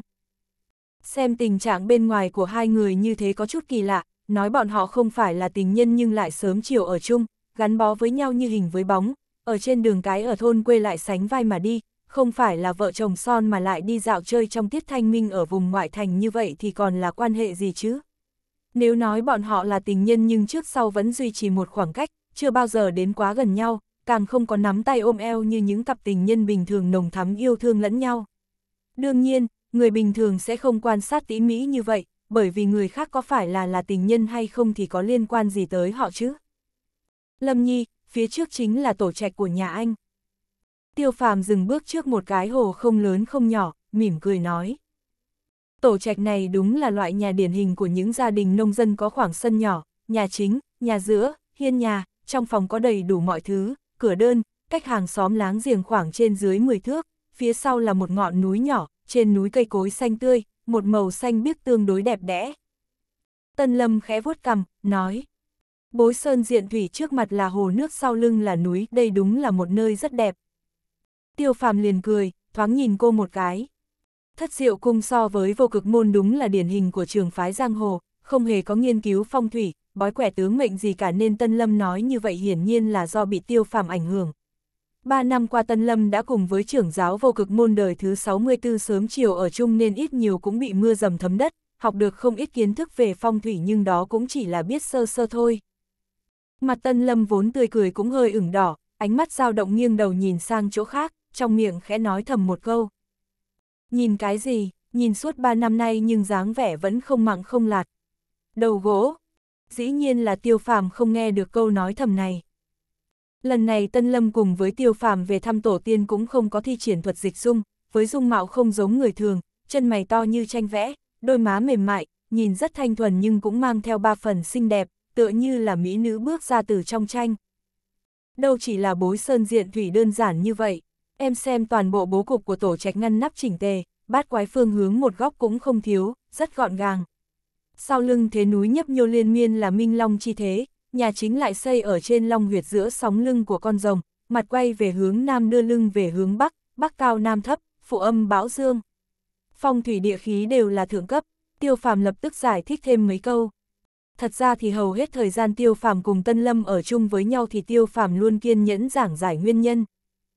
Cậu ta vốn cũng không phải là một người nói nhiều, thậm chí có thể nói là tích chữ như vàng vậy. Tân Lâm nhẹ nhàng gật đầu, chớp chớp mắt, lắng nghe hết sức chăm chú. Tiêu phàm mỉm cười nói. Anh rất nghi ngờ là trước đây ông cố có mời một đại sư phong thủy rất là cao siêu xem nhà. Khi tiêu phàm còn bé đã từng nghe ông nội nhắc đến chuyện của tiêu gia, tổ trạch này là do cha của tiêu lão gia xây nên. Nghe đâu lúc ấy, tiêu gia coi như là có đẳng cấp ở trong thôn, của cải tương đối dồi dào, đương nhiên cái gọi là của cải dồi dào ở thời kỳ ấy chẳng qua là so với những nhà bình thường khác có cuộc sống khá giả hơn một chút thôi, năm nào được mùa thì miễn cưỡng có thể tự cấp tự túc, năm nào gặp thiên tai cũng giống như những gia đình khác cơm ăn không đủ no. Cho nên tiêu lão gia cũng từng nói qua, lúc đó người bản xứ trong thôn rất nghèo khó, thật ra thì địa chủ so với người bình thường khá hơn một chút, có thể đủ sống qua ngày, từ trong kẻ giang nặn ra một chút tiền tài, tích tụ từ từ cũng đủ mua vài miếng đất. Họ cũng giống như những nhà nông bình thường khác không nề hà lao động cực nhọc, mặt trời mọc thì nai lưng ra cày bừa, mặt trời lặn thì nghỉ. May mà như thế nên tiêu gia cũng được coi như là một gia đình giàu có chuẩn mực. Tân Lâm bĩu bĩu môi, nói. Lúc đó, gia đình anh lấy đâu ra nhiều tiền mà mời đại sư phong thủy xem nhà chứ? Tiêu phàm phá lên cười. Nói đúng lắm, có lẽ thuần túy là mèo mù vớ phải chuột chết, vận khí tới thôi. Hiện giờ, tổ trạch của tiêu gia đã không còn người nào ở, nhưng được tu sửa rất tốt, có thể thấy gạch đá trên tường rõ ràng có dấu vết mới được quét vôi bên ngoài. Tiêu phàm biết đây là do tập thể người dân ở thôn Hồng Sơn đã tự quyết định rồi tiến hành sửa chữa. Tiêu lão gia vẫn còn sống nên tổ trạch không thể trở thành nơi tưởng niệm được, đây chính là quy định của Trung ương, tiêu lão gia không thể dẫn đầu làm trái quy định được, nhưng cái quy định này cũng không thể cản trở bà con ở thôn tự quyết định tiến hành sửa chữa. Một khi tiêu lão gia mất đi thì tổ trạch này lập tức sẽ được xây dựng lại. Hiện nay, không thể khinh thường hiệu ứng của những danh nhân, dựa vào tiếng tăm của tiêu lão gia thì tổ trạch sẽ trở thành nơi trốn du lịch, bởi vì tài chính thu được từ du lịch cũng không phải ít, rõ ràng người lãnh đạo thôn Hồng Sơn cũng xem như có con mắt tinh tường. Tuy rằng tổ trạch không có ai ở nhưng lại có người trông nom. Hai người vừa mới đến gần tổ trạch đã có hơn 30 người thanh niên tiến lên dò hỏi, nhưng ngược lại thái độ rất hòa khí. Mặc dù tiêu phàm với Tân Lâm ăn mặc giản dị nhưng phong thái rất khác thường, vừa nhìn là biết từ nội thành đến, không giống với những nam nữ thanh niên ở trong thôn. Tiêu phàm mỉm cười giải thích rõ lý do với những bà con cùng quê này, cậu ấy là cán bộ ở thành phố La Châu, vì ngưỡng mộ tiếng tăm hiển hách của tiêu lão gia nên mới mang theo bạn gái đến đây chiêm ngưỡng tổ trẻ của tiêu lão gia. Tân Lâm nghe Tiêu Phàm nói thẳng mình là bạn gái thì hai gò má trắng nõn của Tân Lâm đã xuất hiện hai đóa hoa nở đỏ xinh đẹp, bản thân cô cũng không có phủ nhận. Người thanh niên vừa nghe thì tức khắc cao hứng. Cố cư kỷ niệm quán, chưa có xây dựng thì đã có người từ trong thành phố đặc biệt đến chiêm ngưỡng, đây đúng là chuyện tốt nha. Chờ kỷ niệm quán được xây dựng xong thì càng nhiều người đến. Thế là người thanh niên đó liền đích thân dẫn hai người đi tham quan tổ trạch, còn đứng ở một bên giới thiệu rõ ràng, tỏ vẻ vô cùng nhiệt tình. Hắn cũng tự giới thiệu hắn họ tiêu, được người trong thôn cử làm cán bộ canh gác, việc khác chính là phụ trách canh gác an toàn tổ trạch của tiêu lão gia. Tiêu phàm thuận miệng hỏi. Tiêu đại ca, ngày thường có nhiều người tới tham quan nơi này không?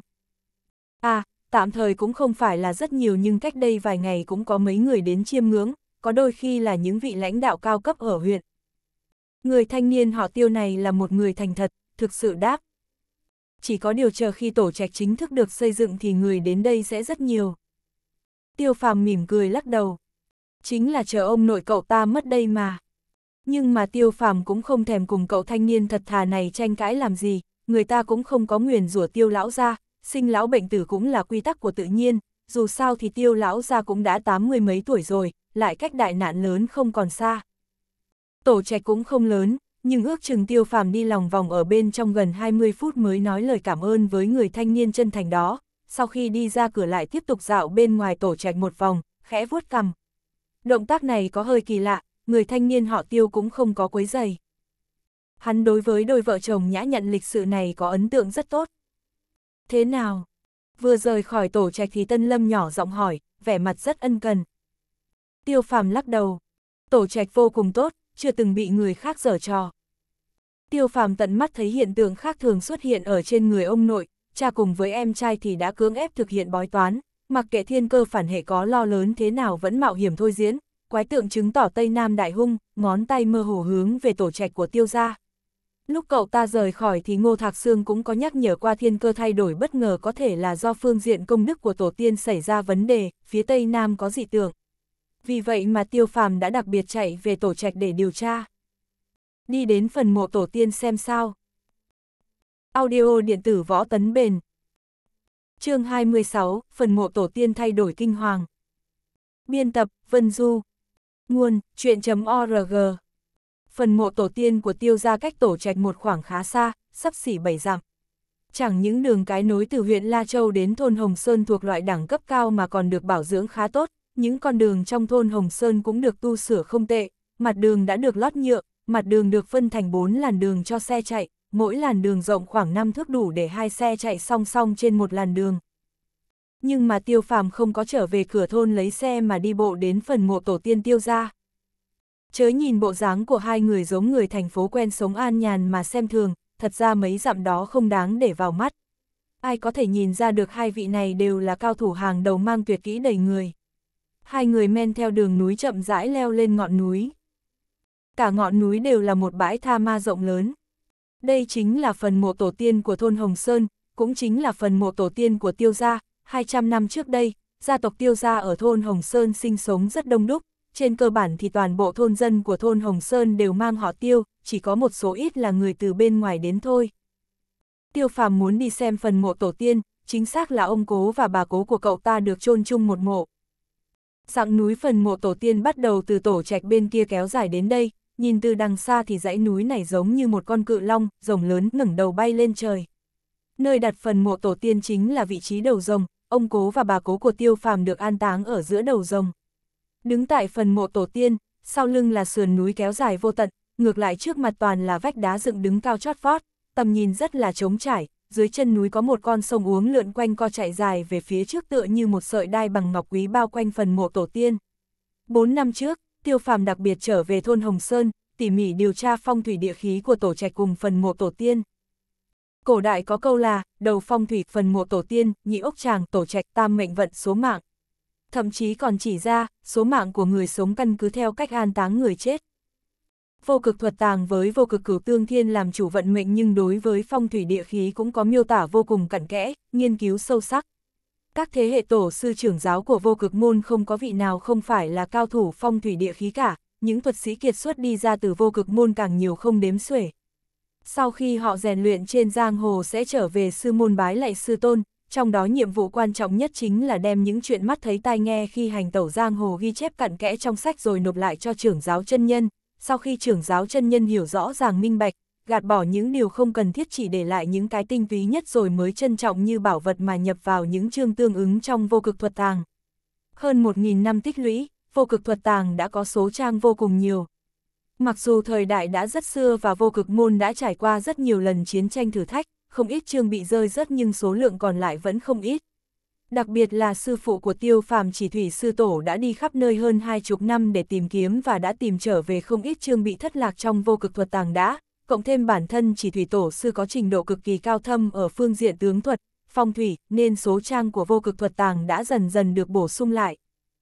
Chỉ tiếc là ba chương sau cùng quan trọng nhất của vô cực thuật tàng, thiên nhân thiên, trường sinh thiên, tạo hóa thiên đã bị thất lạc quá lâu, chỉ thủy sư tổ đã dùng tinh lực cả đời cũng không thể tìm về được dù chỉ vài câu, vài chữ. Ba năm trước, lão nhân gia không quan tâm đến việc mình đã trăm tuổi mà vẫn không chút do dự lần thứ hai bước ra giang hồ ngao du, mục đích của người là muốn cố gắng lần cuối cùng tìm ba chương quan trọng đó trở về, cho dù không thể tìm được hoàn chỉnh ba chương nhưng có thể tìm được chút manh mối là tốt rồi. Căn cứ theo nguyên tắc ghi chép chung của vô cực thuật tàng thì thiên nhân tương có thể biết được thiên nhiên vạn vật, trường sinh tương thì là tướng thuật của bản thân, nắm giữ con đường trường sinh, nếu người nào có thể tu luyện đại thành thì có thể vượt qua được kiếp nạn sống chết. Về phần tạo hóa tương thì một khi tu luyện thành công có thể nắm giữ vạn vật trong tay, chỉ định càn khôn, nắm giữ sức mạnh thần kỳ vô biên, có thể tham dự vào sự huyền diệu của tạo hóa, trường vô cực đại đạo. Đương nhiên cái này cũng chỉ là trong sách ghi lại thôi, cho dù vô cực môn nhân tài xuất hiện lớp lớp nhưng hoàn toàn không có người nào tu luyện tới thiên nhân cảnh. Bởi vì thiên nhân thiên đã là 10 người không có một rồi, thậm chí ngay cả thiên nhân cảnh sơ cấp luân hồi sơ cấp cũng đã bị thất lạc không ít nên tu luyện luân hồi cảnh không đủ sức đạt tới đại thành nữa huống chi là thiên nhân cảnh. Về phần trường sinh thiên và tạo hóa thiên hoàn toàn chỉ là nghe đồn thôi, chỉ còn lại lác đác vài lời được ghi chép lại trên vô cực cửu tương thiên, hầu như thất lạc toàn bộ, một chữ cũng không còn thừa lại. Xem như hôm nay tiêu phàm đã tu luyện luân hồi cảnh đến cảnh giới cực kỳ cao thâm cũng chỉ coi là sơ cấp, phong thủy kham dư thuật cũng có nói đại thành. Bốn năm trước tiêu phàm về điều tra phong thủy của phần mộ tổ tiên thì nhận thấy nơi này có liên quan đến sự phát đạt thịnh vượng của tiêu lão gia hiện nay. Ông cố và bà cố đang được an táng tại đầu rồng, phong thủy phần mộ tổ tiên lại tốt vô cùng, tốt đến nỗi không thể tốt hơn được nữa, lại có thêm phong thủy của tổ trẻ cũng là long huyệt cực tốt, nên tiêu phàm cùng với em trai tiêu thiên đều hiện rõ mệnh tướng thiên tử là chuyện đương nhiên. Tân lâm ngắm nhìn bốn phía, mỉm cười nói. Phong cảnh nơi này thật sự rất đẹp. Cô đối với phong thủy kham dư dù sao cũng có hiểu biết không nhiều nên nhìn không ra được nhiều manh mối, nhưng con gái thì rất yêu thích cảnh sắc tươi đẹp, dọc đường đi đến lại có núi xanh nước biếc bao quanh thì đương nhiên cũng cảm thấy vui vẻ. Tiêu phàm mỉm cười gật đầu, đi về phía trước hơn 10 bước, chợt dừng lại, đôi lông mày đột nhiên nhíu chặt, vẻ nhu hòa trên mặt trong nháy mắt đã bao phủ một tầng sương lạnh. Tân Lâm rất ít thấy thần sắc của tiêu phàm như vậy, vô cùng kinh ngạc, vội vàng hỏi. Làm sao vậy, có gì không bình thường sao?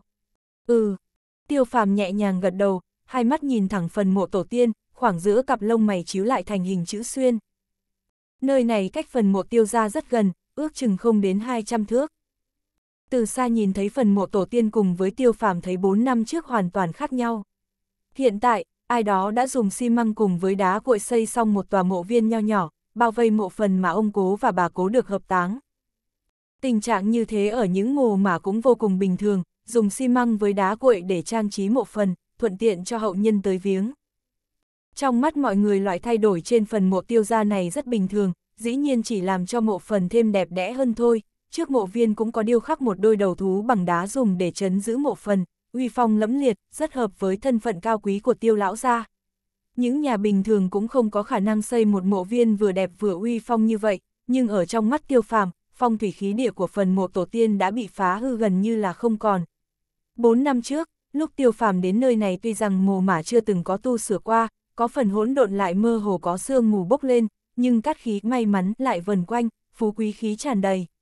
Hiện giờ, chỉ cần nhìn một cái thì liền thấy một luồng sát khí bao trùm, giống như miệng một con quái vật đen nhánh đang giận dữ chụp tới, chặt chẽ đem toàn bộ cát khí ngăn trở ở bên ngoài. Tiêu phàm đứng tại chỗ, tỉ mỉ xem xét, hồi lâu mới đi về phía trước, càng đến gần thì sát khí càng thêm dày đặc, chờ khi tiêu phàm đi đến lối vào mộ viên thì luồng khí này dày đặc đến mức hóa ra hung sát chi khí, thậm chí còn cuồng cuộn vây quanh cậu ta, tận lực muốn chui vào trong cơ thể cậu ấy. Luồng hung sát chi khí này tựa như có thể, nhận biết, thân phận của tiêu phàm, biết cậu ta có quan hệ huyết thống dòng chính của chủ nhân mộ phần.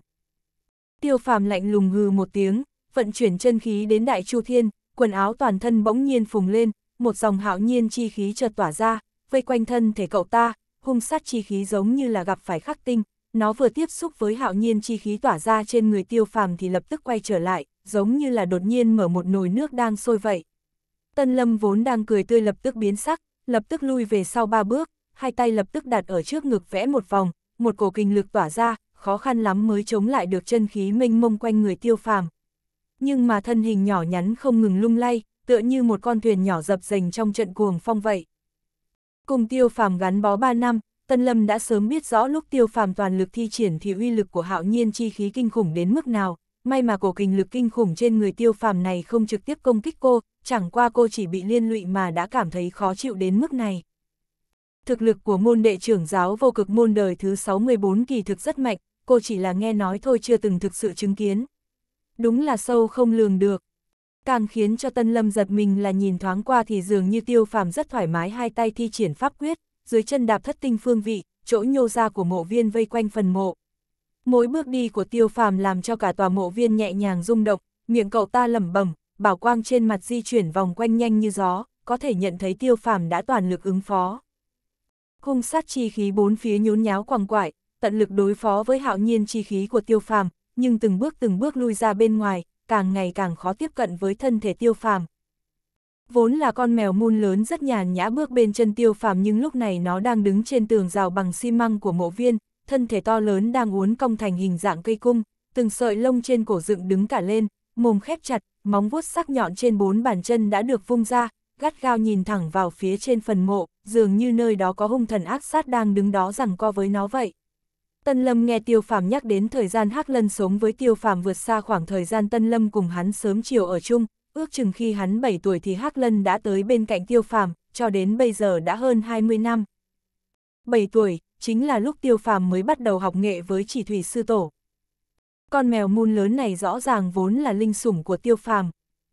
Tiêu Phàm khó khăn lắm mới xoay chuyển ba vòng, hung sát chi khí đã dần dần lui về ranh giới mộ viên, vẫn đang liều mạng dẫy ruộng, càng ngày càng quay cuồng, tựa như nó đang tích góp sức mạnh, chuẩn bị liều mạng phản kích.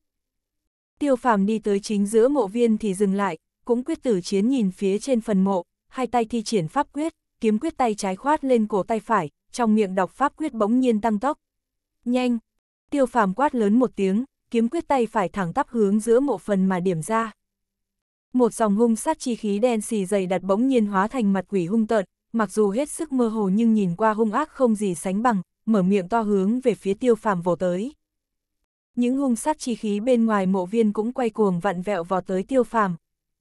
Vào lúc này, bóng đen chợt lóe lên, hắc lần tựa như mũi tên đã rời dây cung nhanh như tia chớp đánh về mặt quỷ hung tợn kia, móng nhọn vung vẩy, hắc mang chợt lóe lên, mặt quỷ bỗng nhiên bị trúng đòn nghiêm trọng dưới móng vuốt của hắc lân, trong phút chốc tan rã, lại không cách nào thành hình.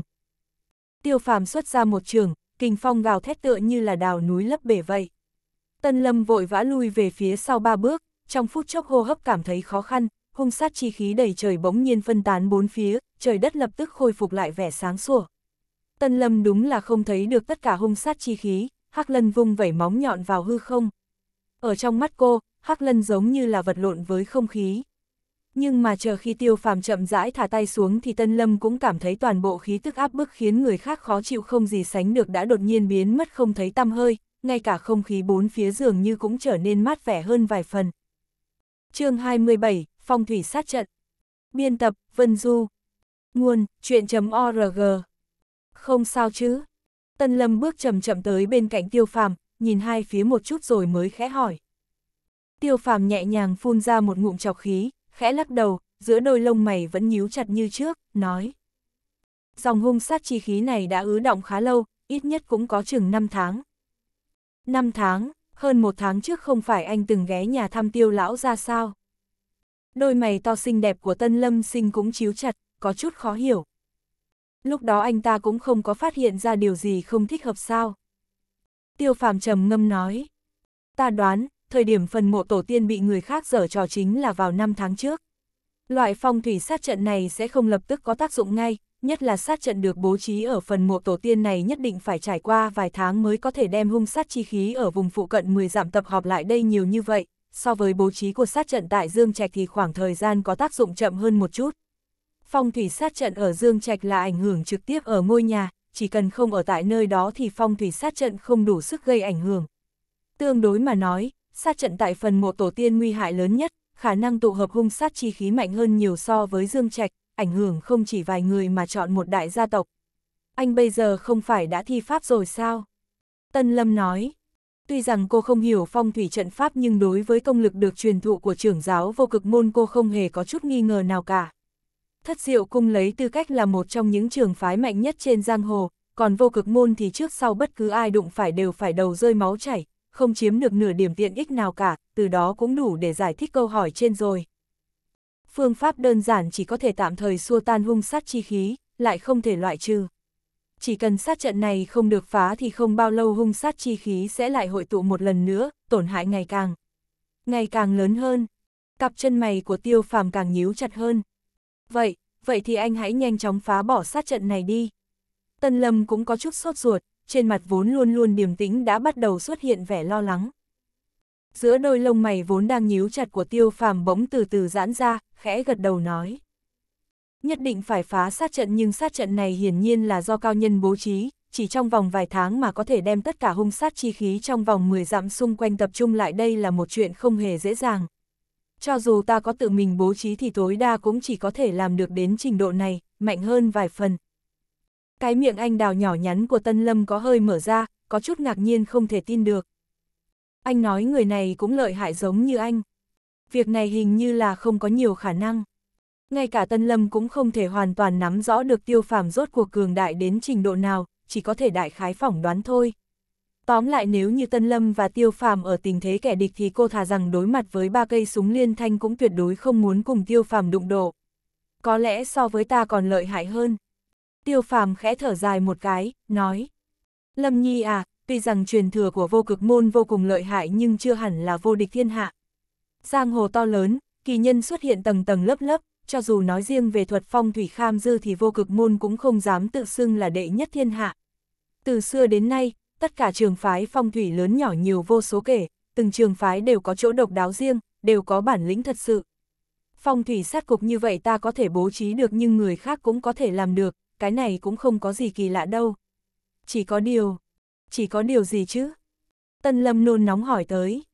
Tuy rằng ta còn chưa có điều tra tỉ mỉ về cách sắp đặt của sát trận này nhưng lại có thể cảm thụ được sát trận này không giống bình thường, dường như không phải loại sát trận của trường phái phong thủy kham dư mà ta thường thấy, bất luận là loan đầu phái, tam hợp trường sinh phái, huyền không phi tinh phái hay hoàn thị lý khí phái cũng không giống như vậy. Cái này, ngay cả vô cực thuật tàng cũng không có ghi chép sao. Tân lâm càng thêm giật mình. Tiêu phàm lắc lắc đầu. Vô cực thuật tàng số trang rất nhiều, theo lý phải có ghi lại nhưng bao năm nay đã bị thất lạc rất nhiều, vô cực thuật tàng do vô cực môn bảo quản đã không còn hoàn chỉnh, có lẽ có những trường phái phong thủy vô cùng đặc biệt mà mà ngay cả vô cực thuật tàng cũng không có tìm ra được. Vậy làm sao bây giờ? Tiêu phàm cười khẽ, khóe miệng hiện lên một nụ cười hãnh diện, khẽ nói. Tuy rằng sát trận này được bố trí rất kỳ lạ nhưng cũng không phải là không điều tra được, ta thử một chút xem sao. Tân Lâm khẽ vuốt cầm, ngay tức khắc rời khỏi mộ viên, tập trung đề phòng. Hắc Lân thì lại khôi phục vẻ lười biếng, trực tiếp nằm ở trên phần mộ của ông cố, bà cố tiêu phàm, liếm liếm móng vuốt như có thứ gì ngon trên đó vậy. Tiêu phàm đứng tại cửa mộ viên, ngẩng đầu nhìn về phía trước. Cửa mộ này là bố trí đầu tiên của sát trận.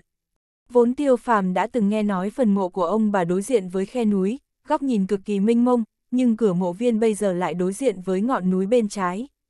Ngọn núi đó cao hơn phần mộ tổ tiên, giống như là một thanh kiếm đâm thẳng lên trời. Cửa mộ viên đối diện kiếm phong dĩ nhiên là đại hung chi thế rồi. Điểm này cũng không đáng kể, bất kỳ một thầy phong thủy nào cũng đều có thể nhìn ra được chứ đừng nói đến chuyên gia như tiêu phàm. Hai tay tiêu phàm chạm vào hai con thú bằng đá trên cửa một viên, chậm rãi vuốt ve. Nếu là thần thú chấn mộ thì sẽ dùng tỳ hưu hoặc là kỳ lân, hai loại thú này đều là thần thú trừ tà trong truyền thuyết cổ xưa.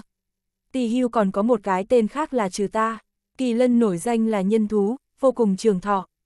Nhưng hiện tại, nhìn kỹ hai con thạch thú trưng bày ở mộ viên đã không giống như là tỳ hưu, cũng không giống như là kỳ lân, cũng không giống như mãnh thú trong cổ đại mà là một tượng đá được điêu khắc rất kỳ lạ và có hình tượng vô cùng hung ác, dường như giống như một hình thú vật tổ nào đó được dân tộc xưa thờ phụng.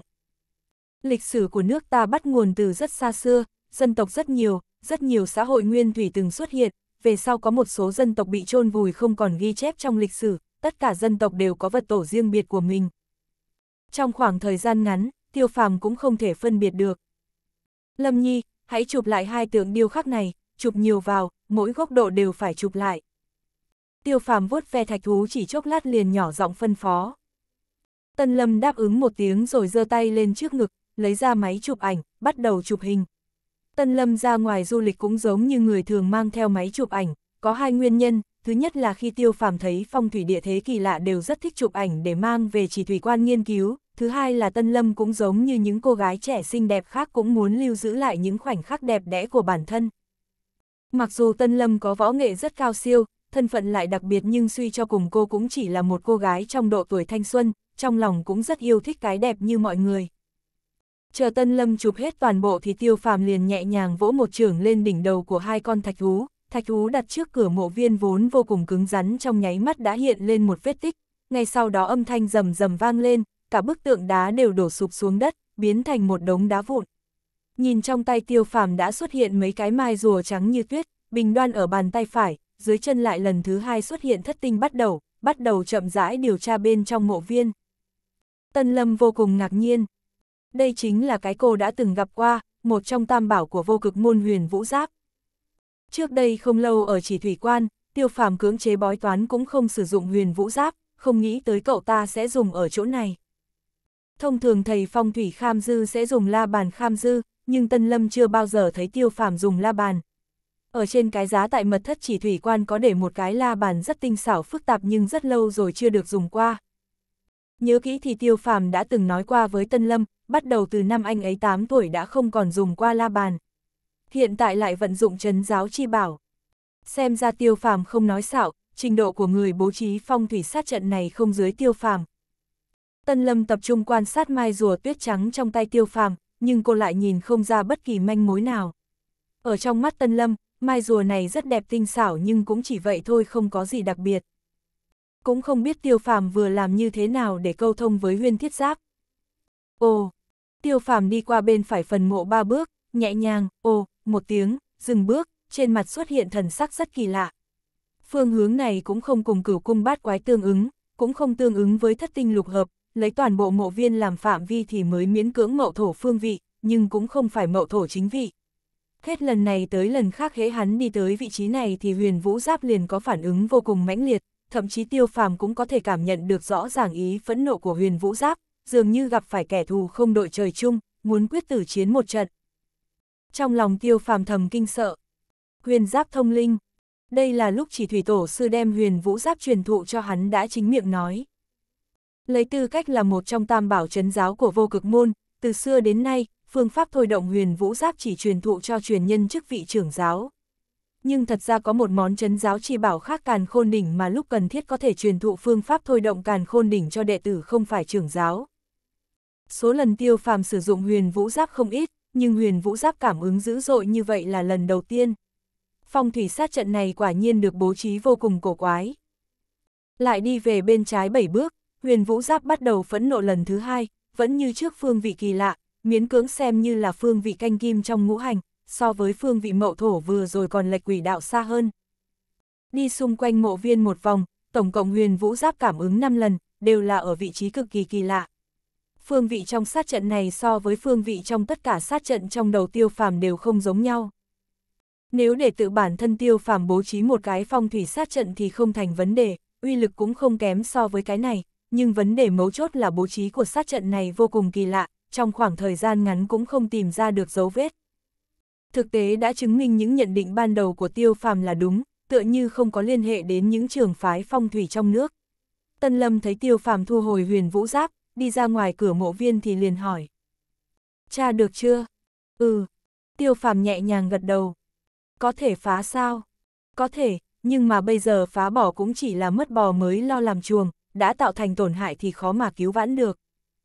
Giọng của tiêu phàm tương đối nặng nề. Tân Lâm trầm mặt một chút, nói. Anh dường như có nói với ta, vô cực môn có phương pháp giải tu bổ kỳ nhưng mà. Tiêu phàm lắc lắc đầu, nói. Kỳ nhương chi pháp cũng không phải vạn năng, hơn nữa điều kiện thi triển kỳ nhương thuật vô cùng hà khắc. Giống như một người bị thương nặng, bác sĩ có thể cứu lấy tính mạng của hắn, lại dùng đủ mọi phương thức tẩm bổ nhưng nếu muốn hoàn toàn hồi phục như lúc đầu thì rất khó. Thỉnh thoảng sức người cũng có hạn. chương 28, Dịch Dung. Biên tập, Vân Du. Nguồn, chuyện.org. Tương đối mà nói, thị trấn Hồng Sơn thuộc huyện La Châu này có thể xem là khá phồn hoa, đêm đêm đèn neon sáng lấp lánh như ánh sao, đường xá cũng khá náo nhiệt. Khách sạn Thiên Nguyên mà Tiêu Phàm cùng Tân Lâm ở có quy mô cùng đẳng cấp không tệ, nhất là vệ sinh rất sạch sẽ khiến Tân Lâm rất hài lòng. Tân Lâm ở khách sạn cũng không quan tâm nó có xa hoa lộng lẫy hay không, bởi vì khi Tân Lâm và Tiêu Phàm ngủ cùng phòng thì cô luôn ngủ trên ghế nên cho dù chiếc giường có nhỏ, chăn nệm bình thường cũng chẳng sao, việc mấu chốt là phải sạch sẽ. Lần này Tiêu Phàm dường như phá lệ ở trong một gian phòng sang trọng của khách sạn Thiên Nguyên. Đương nhiên, một khách sạn sang trọng ở một huyện nhỏ như vậy thì giá cả cũng không đắt bằng những nhà khách sầm uất ở thủ đô rồi. Nhưng lần này, tiêu phàm phá lệ cũng không phải vì vấn đề tiền bạc, cậu ta tuy không giàu có nhưng cũng chưa từng thiếu tiền tiêu. Nhiều năm trước, cậu ta vừa mới học nghệ thành tài, từng theo sư phụ đến chợ đồ cổ ở thủ đô lượm được không ít bảo vật. Khi đó, thị trường đồ cổ trong nước vừa mới phát triển chưa lâu, những người trong nghề thực sự biết giám định còn rất ít nên rất dễ kiếm được bảo vật. Hơn nữa chỉ thủy sư tổ là người có con mắt quan sát tinh tường tới bậc nào chứ, dạng đồ cổ châu báo nào mà có thể thoát khỏi mắt thần của ông được. Chỉ có điều sư phụ cũng từng nói với tiêu phàm, ông dẫn cậu ta đi giám định đồ cổ chỉ vì muốn cậu ta không vì chuyện tiền bạc mà lo lắng, tránh việc thời gian tu luyện bị trì hoãn. Chơi đồ cổ chỉ là con đường nhỏ, mê muội nhất thời sẽ mất đi ý chí. Đây là lời mà chỉ thủy sư tổ đã nói. Vô cực môn lập phái đã mấy ngàn năm, tuy rằng bên trong cũng phát sinh mấy lần đại loạn nhưng lạc đà gầy còn lớn hơn ngựa, các thế hệ tổ sư truyền lại châu báo nhiều vô số kể, lấy thiên phú của tiêu phàm mỗi này trong lúc rảnh rỗi chỉ cần tìm tòi nghiên cứu một chút về kỹ thuật giám định đồ cổ, đây thuần túy coi như một trò tiêu khiển lúc nghỉ ngơi mà thôi. Sư phụ tiêu phàm đi giám định chỉ để tăng thêm một số kinh nghiệm thực tế thôi, lúc thiếu tiền xài thì chỉ cần bán ra một kiện bảo vật nhỏ cũng đủ tiền tiêu rồi.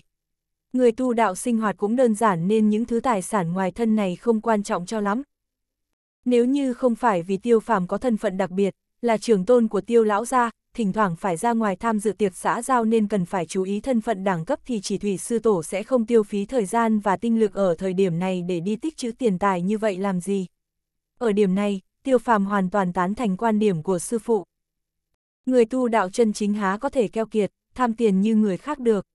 Cho nên mỗi lần tiêu phàm đi ra ngoài Vân Du cũng không bỏ qua việc thu thập dược liệu, sách cổ hay, ở phương diện sinh hoạt thì vô cùng đơn giản. Lần này phá lệ là bởi vì bây giờ tiêu phàm đang cần một thân phận đặc biệt. Tân Lâm đang dịch dung cho tiêu phàm. Cầm tiêu phàm dính một tròm dâu rậm rạp đen thủi đen thui, dài bốn tấc. Tân Lâm lại đem bùn đất thoa lên trán và mặt của cậu ta, lót một lớp mỏng lên hai má, vẽ ở trán và khóe mắt vài nếp nhăn tinh tế. Trong nháy mắt, tiêu phàm liền từ một thiếu niên anh Tuấn dịu dàng biến thành một người trung niên khoảng hơn 40 tuổi có chút phong thái tiên phong đạo cốt ở chốn bồng lai, hợp với trang phục màu đỏ tía, nghiễm nhiên trở thành một vị đại sư. Tân lâm cúi người xuống, trao chuốt nếp nhăn trên trán, bộ ngực tuyệt đẹp cách tầm mắt tiêu phàm chỉ chừng mấy tấc, phập phồng theo hô hấp của cô, mùi thơm thiếu nữ thoang thoảng xông vào mũi. Tiêu phàm vẫn một mực tâm như nước bỗng nhiên cảm thấy thân thể có chút nóng rang, trên trán chảy lấm tấm mồ hôi hột, vẻ mặt cũng trở nên mất tự nhiên, may mà trên mặt đã đắp bùn đất rồi nếu không thì màu hồng phấn trên mặt dù thế nào cũng không che giấu được. dáng người tân lâm vô cùng chuẩn, bộ ngực không lớn cũng không nhỏ, dù cách một lớp y phục cũng có thể nhìn ra được đường cong hai bầu ngực vô cùng hoàn mỹ.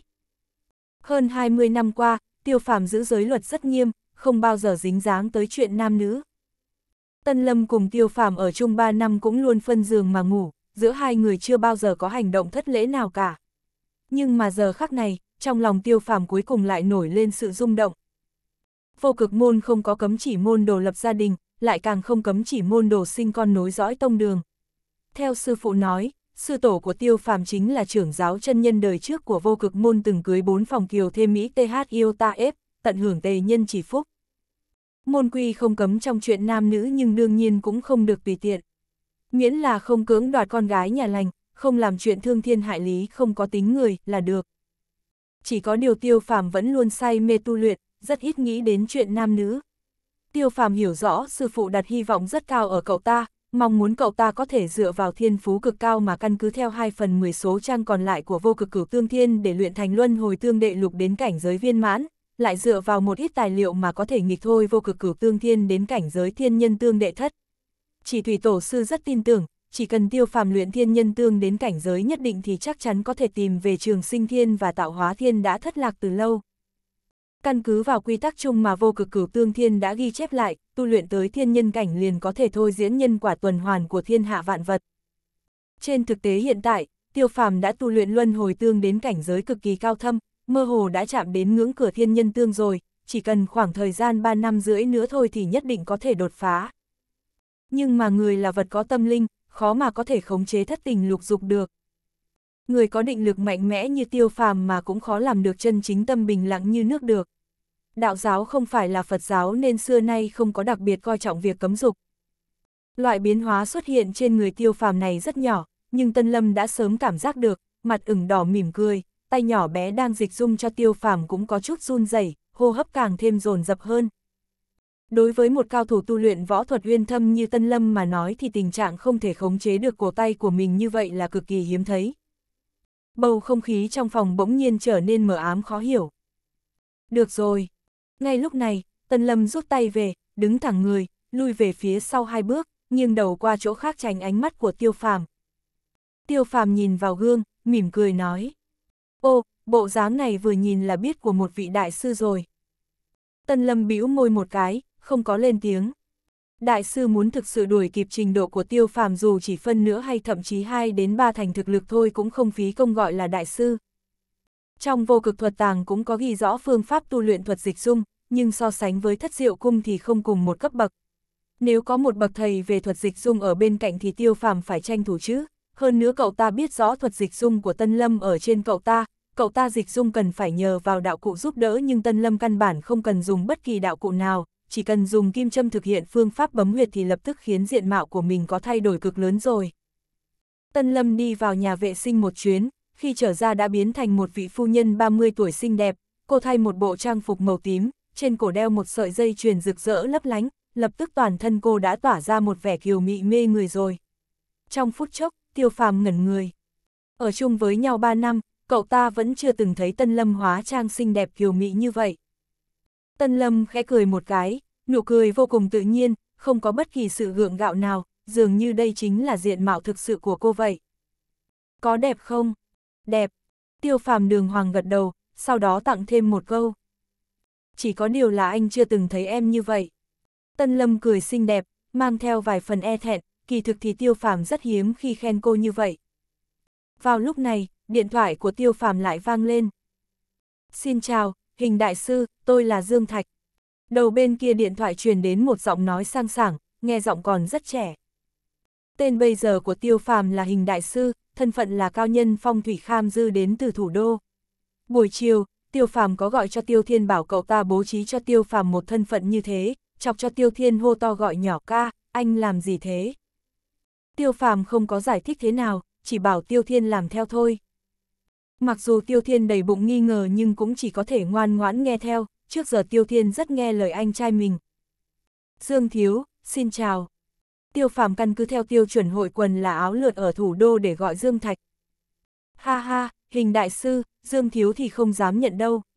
Ngài là bằng hữu của tiêu nhị ca nên cứ gọi thẳng tên tôi đi, nếu không thì gọi tiểu Dương cũng được. Dương Thiếu tôi thật không đảm đương nổi. Hình đại sư, tôi đã đến huyện La Châu, bây giờ, ngài đang ở nơi nào? Dương Thạch cười ha hả nói, cũng là theo tiêu chuẩn giao tiếp ở thủ đô. Tôi ở phòng 608 khách sạn Thiên Nguyên, để Dương Thiếu cực khổ chạy đến nơi xa xôi như vậy, thật là ngượng mà. Tiêu phàm càng bắt bẻ hắn. Ở trong giới ăn chơi của bọn họ thì chuyện thích bắt bẻ và cố làm ra vẻ là điều cần thiết.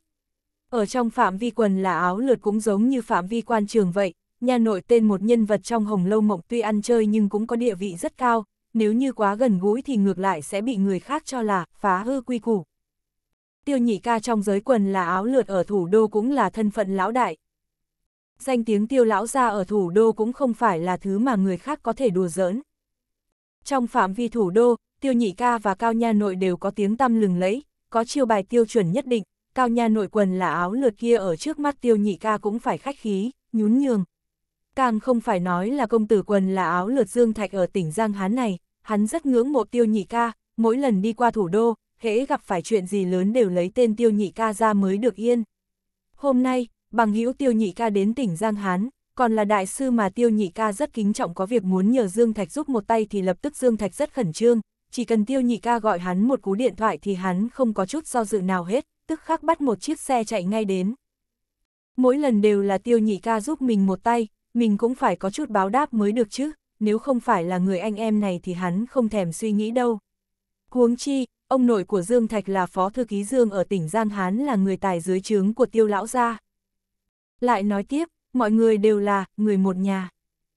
Hình đại sư quá khách khí rồi, có thể giúp được cho hình đại sư thì đó chính là vinh dự. Xin hình đại sư chờ một chút, tôi lập tức tới khách sạn. Được, vậy ta ở đây chờ Dương thiếu đại giá. Hình đại sư lại gây khó dễ, đó chính là khuôn mẫu rồi. Tiêu phàm vốn là con cháu đại hào môn, mặc dù ngày thường cũng không cùng tiêu thiên và đám người quần là áo lượt kia ở chung một chỗ nhưng phong độ thì cho dù cao nha nội cũng khó có thể so sánh được. Thật ra ở trong điện thoại, tiêu nhị ca đã phân phó rất kỹ, ngàn vạn lần không được đắc tội hình đại sư, bất kể hình đại sư có căn dặn gì đều phải nghĩ ra biện pháp thỏa mãn hắn. Dương Thiếu làm sao có thể không cẩn giận giải quyết được chứ? Chương 29, đập đổ làm lại. Biên tập, Vân Du. Nguồn, chuyện.org. Khí chất của cô gái này quá mức đặc biệt, rõ ràng thoạt nhìn cô rất kiều mị, diêm rúa lập y gờ lơ, câu hồn đoạt phách, nhưng lại khiến cho người ta cảm thấy cô đẹp lạnh lùng quý phái, không dám xem thường. Hai loại khí chất này rõ ràng trái ngược nhau thì làm sao có thể cùng xuất hiện trên người một nữ nhân chứ? Chẳng lẽ, nữ nhân bên cạnh đại sư đều đặc biệt như thế sao? Chưa gặp mặt hình đại sư thì trong lòng Dương Thạch đã thầm ngưỡng mộ danh tiếng trước rồi. Một đại sư tới từ thủ đô lại được tiêu nhị ca tôn sùng, quả là không giống với những đại sư ở Giang Hán chỉ biết lớn tiếng dọa người kia. Dương Thiếu, mời vào. Tân Lâm mỉm cười, nụ cười vô cùng quyến rũ. Cảm tạ, cảm tạ. Dương Thạch cuống quyết khom lưng, liên tục nói cảm ơn. Người này nổi tiếng là Dương Thiếu ở Giang Hán, nhưng tuổi tác cũng không lớn, khoảng chừng trên dưới 28 tuổi thôi. Mặt mũi thì khôi ngô, vóc người cao giáo, toàn thân đều là hàng hiệu lại vô cùng hợp với dáng người, hắn không giống với những tên nhà giàu mới nổi mà mơ hồ tản ra khí chất của quý tộc. Con đường làm quan của Phó Thư Ký Dương ở tỉnh Giang Hán vẫn luôn thông thuận, từ nhỏ Dương Thạch đã có điều kiện sinh hoạt cực tốt nên tự nhiên được nuôi dưỡng thành phong độ của quý tộc rồi. Hình đại sư, xin chào ngài. Mặc dù trước kia, Dương Thạch chưa từng cùng hình đại sư gặp mặt, nhưng vừa nhìn thấy tướng mạo của hình đại sư thì Dương Thạch đã lập tức khẳng định vị này chính là đại sư phong thủy mà Tiêu Nhị Ca đã trịnh trọng giới thiệu trong điện thoại. Nhà của Dương Thạch ở Giang Hán nhưng bình thường hắn luôn xuất hiện ở trong phạm vi của hội quần là áo lượt ở thủ đô, lăn lộn trong bang nha nội đảng ở thủ đô đến mức thuộc như nằm lòng. Lần này, tuy bố của hắn phó thư ký Dương ngoài miệng không nói gì nhưng thật ra trong lòng rất ủng hộ. Ngày nay, muốn lăn lộn trong vòng thể chế chẳng những phải có chỗ dựa, mà chỗ dựa là rất quan trọng và nhất định không thể thiếu. Phó thư ký Dương quyền cao chức trọng hiển nhiên không tiện cùng các nhà nội quần là áo lượt ở thủ đô qua lại quá nhiều, bởi vậy nên con trai đi hoàn thành cái công việc này thì vừa vặn vô cùng thích hợp rồi. Dương Thạch biết rõ nếu nói về phong thủy kham dư chi đạo thì thực ra nó cũng khá phổ biến. Tuy là mọi người không có nói ra nhưng kỳ thật trong lòng bọn họ rất kính trọng, sùng bái đại sư phong thủy, không dám chậm trễ chút nào. Thời gian Dương Thạch ở thủ đô cùng với tiêu nhị ca gặp gỡ đám nha nội kia rất hay nhìn thấy những đại sư qua lại. Tỉnh Giang Hán làm sao không có những việc như vậy chứ? Tiêu phàm chờ khi Dương Thạch đi đến trước mặt mình mới đứng dậy, trên mặt có chút căng thẳng, chia một tay về phía hắn rồi mỉm cười nói. Dương Thiếu, hân hạnh gặp mặt. Hình đại sư, hân hạnh, hân hạnh. Dương Thạch không dám khinh suất, hai tay thân thiết cầm lấy tay tiêu phàm, cuống quýt khom lưng cúi đầu chào. Hai ngón tay của tiêu phàm nhẹ nhàng đặt lên mạch đập trên cổ tay của hắn, vừa trộm nhìn sắc mặt của hắn vừa nói. Dương Thiếu, mấy ngày nay dạ dày của cậu không được thoải mái, ăn uống không tốt phải không? Dương Thạch vô cùng ngạc nhiên, vội vàng hỏi. Hình đại sư, việc này mà ngài cũng có thể nhìn ra được sao? Tiêu phàm mỉm cười, nói. Mạch của Dương Thiếu đập rất nhanh mà có lực, đôi môi thì đỏ thắm, khóe miệng sưng tấy có vết nước, đây đều là chứng hư hỏa nóng nảy trong người, phải chú ý ăn uống những thức ăn thanh đạm, lúc ăn cơm thì nên nhai kỹ nuốt chậm, không nên quá vội vàng. Dương Thạch không khỏi cảm thấy bội phục, nói. Hình đại sư quả nhiên là cao nhân, hắc hắc, mấy ngày nay tôi uống hơi nhiều rượu nên dạ dày cảm thấy có chút khó chịu, không ngờ là hình đại sư chỉ liếc mắt một cái đã nhìn ra. Tiêu phàm mỉm cười, gật đầu. Mời Dương Thiếu ngồi. Dương Thạch liền cẩn thận ngồi xuống ghế sofa, ngó mặt lên nhìn hình đại sư, vẻ mặt rất kính cẩn, hỏi. Hình đại sư à, tôi vừa mới nhận được điện thoại của tiêu nhị ca, nói ngài đến Giang Hán là có chút chuyện muốn tôi cống hiến sức lực, không biết đó là chuyện gì. Tuổi của Dương Thạch hẳn là lớn hơn so với Tiêu Thiên vài tuổi, chỉ có điều thông thường trong vòng tròn quần là áo tượt ở thủ đô không lấy tuổi tác để sắp xếp thứ tự. Trong vòng tròn, mọi người đều tôn Tiêu Thiên là Tiêu Nhị Ca nên Dương Thạch đương nhiên phải theo số đông rồi, chỉ có những kẻ có quan hệ tương đối xa cách mới có thể gọi là Tiêu Nhị Thiếu. Tiêu Phàm lạnh nhạt nói. Không nói gạt Dương Thiếu, buổi sáng ta có đi thôn Hồng Sơn, sau khi quan sát một vòng xung quanh phần mộ tổ tiên tiêu ra, ta đã phát hiện có người đã xây mộ viên cho hai vị lão tổ tiêu gia, cũng không biết là người nào đã làm mà đã thay đổi bố cục phong thủy. Lúc này, Dương Thạch thật sự rất kinh ngạc, lập tức thẳng lưng lên, nói. Hình đại sư, vậy, vậy phần mộ tổ tiên. Việc này chính là phần mộ tổ tiên của tiêu gia. Ai to gan như vậy, lại dám sửa đổi phong thủy phần mộ tổ tiên của tiêu gia chứ? Tuy rằng ngoài mặt không ai nhắc đến hai từ phong thủy, nhưng trên thực tế trong lòng mọi người đều rất quan tâm đến vấn đề đó. Cha của Dương Thạch Phó Thư ký Dương gần như hàng năm đều đi đến thôn Hồng Sơn một chuyến trên danh nghĩa là thăm hỏi sức khỏe của thôn dân nhưng trên thực tế là chiêm ngưỡng tổ trạch của tiêu lão gia. Nếu như thời tiết tốt còn có thể đi đến phần mộ tổ tiên của tiêu gia tuy ngoài miệng thì nói là leo núi để rèn luyện thân thể, ngắm nhìn phong cảnh của thôn Hồng Sơn, nhưng thâm ý bên trong rất là rõ ràng. Phó thư ký Dương này tự cho mình là dòng chính của tiêu gia, lúc nào cũng chứng tỏ trước mọi người như mình là người phát ngôn của tiêu gia ở Giang Hán. Mà dường như tiêu gia đối với tất cả chuyện này cũng âm thầm chấp nhận.